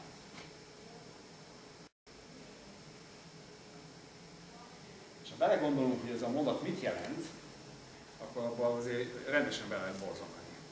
Mert az emberek leborotválják a szentélyát, azt jelenti, hogy nincs kitérés, nincs szemlélés, nincs tudomásul nem vétel, nincs, nincs hova visszaátrálni. Csak a szembesülés van. Csak a, radikális szembesülés van. És a nagy művészet az bizonyos értelemben így le tudja tépni az emberek a személyát. Tehát, hogy nem, le, nem, lehet, nem lehet csak úgy kitérni az ilyen dolgok elől. Most én nem tudok arra magyarázatot adni, hogy a, hogy a, hogy a Wilhelm Sublimis esetében, vagy a Barnett Newmannek a stációképei esetében, vagy a Mark Rothko-nak a Houstoni Rothko Chapel-ében kirakott fantasztikus absztrakt képek esetében hogyan működik ez a fajta kvázi vallásos. Mert ezek mind többen vallásos művek, abban értelme, hogy, hogy ezt a fajta, ezt a fajta a végtelenre, a, a, a, az abszolútumra való nyitottságot megkövetelik attól a nézőtől, aki, aki, aki oda betér. Hát igen, egy ilyen misztikus, misztikus hajlamot, hajlamot föltétel. Rotkonak például a festmény büntesség elképzelni, de a festő azt csinálta, hogy ő is ilyen nagyméretű absztrakt képeket festett, azt csinálta, hogy, hogy viszonylag kevés festéktartalmú, sok olajjal hígított festékkel dolgozott, tehát, tehát nagyon transzparens festékrétegeket festett, ha értető, hogy mondott. Tehát áttetszőek voltak a... És ezekből a képek, és létrehozott olyan képeket, amelyeken sok száz ilyen színes léjelt, réteget festett egymásra. És ezek a képek ilyen összesűrűsödnek, összetevődnek, össze, össze, hát ahogy a rétegek egymásra rakódnak. Ugyan nagyon vékonyak a rétegek, nagyon sok van belőlük, és mindegyik más-más színű. Annak az a következő, a képek olyan különleges, fantasztikus, furcsa, levegő hatást keltenek, hogy egyfelől semmit nem lehet látni rajta. Szóval annak értelme, hogy nem lehet köztük tenni, mert, mert, mert, mert, mert nincs rajtuk forma, vagy ilyesmi, ami, ami, ami ez egy kontraszt, vagy bármi olyasmi, ami a képi jelentésben értelmeződik. Két, hát alapvetően két rész, egy felső, meg egy alsó részből, vagy néha háromból, kisebb, de, de alapvetően ezek a rétegek, de, de a képek nem, nem, a, nem, a, nem a, az egymás mellett tagolásból érnek, az egymás alattiból. Gyakorlatilag a képek az egymásra a léteződésekből épülnek. Most egy ilyen képet nézni, az tulajdonképpen egy ilyen spirituális utás. Mert a szónak a, a, szónak a szoros értelme nem lehet látni ezeket a nem, nem válnak kontrasztá. Nem válnak, nem válnak abban az értelemben követhető ö, játékká, amit megpróbáltam itt ezeken a, ezen a pár példán megmutatni, hogyan, hogyan tud, tud az történni. Hanem egyszerűen az történik, hogy a képek ezt a, ezt a, ezt a, ezt a saját rétegzettségüket prezentálják. És ez látszik rajta. Ez, ez, ez látszik. Ha valaki nem tudja, akkor is látja rajta, vagy megérzi? Vagy... E, ugye mi az, mi, mi, mi az, hogy tudni? Tudni azt jelenti, hogy, hogy festeni mit jelent. Most itt, itt még egy utolsó érzés, amit nem akartam beszélni különbeket. A festésnek a lényege, tehát ezt azóta tudjuk, amióta digitális képek vannak. A digitális képek ugye úgy néznek ki, hogy pixelekből állnak. Tudják mi a pixel? A pixel az a, a, a, a képernyőnek egy-egy pontja, amit egy me me mechanikusan állítanak elő, és amelyet a program beprogramoz, és minél nagyobb a felbontással, minél kifinomultabbak a különbség, amit az egyes pixelek között vannak, annál egységesebbnek hat a kép. De a kép, a, de a digitális kép, ez nem csak a digitális, ez a fotó is, ez minden technikai képre igaz, hogy minden technikai képen a, a, a rasterpontok, vagy, vagy, vagy, vagy, vagy fényérzékeny pontok, azok egymás mellett vannak egymás mellett. Minden analóg képalkotás, tehát festészet, grafika, hagyományos rajz, bármi, az, az, az ott, ott minden egymáson van. Tehát minden, húzok egy vonalat, az a vonal az a papír rond van, rajta. És ha húzok egy másik vonalat keresztbe, akkor az a második vonal az alatta lévő vonal fölött van. És így harmadik meg ezt, ezt ezeket a vonalakat és, és most egy képet, a képek állandóan ezért a takarásoknak és áttetszéseknek a játékai. A kontrasztok is jönnek létre, úgy is létrejöhetnek, hogy valami áttetszik, aminek, a, a, a, ami, ami a föl, felső réteg alatt van. Vagy a felső réteg takarja azt, ami alatta van. Látom, hogy van alatta valami, de nem látom, hogy mi van alatta, mert takarja. Ez is egy kontraszt. És a képek ebből a játékból, ez egy mélységi játék nem csak oldalra felé, hanem mélységében is. Ugye az előbb mutattam a részkarcot, a papír és a nyom közötti játék, nyomtatás. Festők is imádnak nyomtatni. Képekre rányomtatnak, rá, be, be, beletényelnek rétegek egymásra, egymásra, egymásra, újra is. És közben állandóan, amit, amit, amit rátettem, az alatt ott van az alatta lévő, és az alatta lévőt is lehet látni. Most a képek ha valaki jól tud képet nézni, az látja a réteges szerkezetet is. Mert ez látszik, ez látszik. De most a Rotko esetében ez alig látszik, de lehet tudni, hogy a festő fest. Tehát, nem tudom, értetve, tehát a kultúra része az, hogy megtanuljuk, hogy így is lehetne csinálni, és ő megcsinálta. Tehát nyilvánvaló, hogy, hogy aki, nem, aki nem szokott képeket ilyen logikával nézni, az persze ezt lehet, hogy nem látja, ebből semmit nem érzik.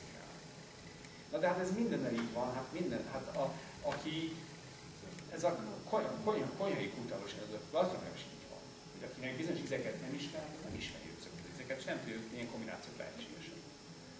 Tehát ez, ez kultúra, és, és, és sajnos az a helyzet, hogy ez nagyon kifinomult, nagyon magas rendű kultúra, nagyon magas fokú jártasságot igényel. Minél látszak, minél kevesebb van rajta, annál több van mögötte. Ahhoz, hogy valamit tagadni, vagy a minimumra tudjunk korlátozni, ahhoz, ahhoz tudni kell azt, hogy mi az, amit korlátozunk, és mi az, amit tagadunk. Tehát ezek így függenek össze egymással, legalábbis szerintem. És köszönöm a figyelmet is, hogy ennyire.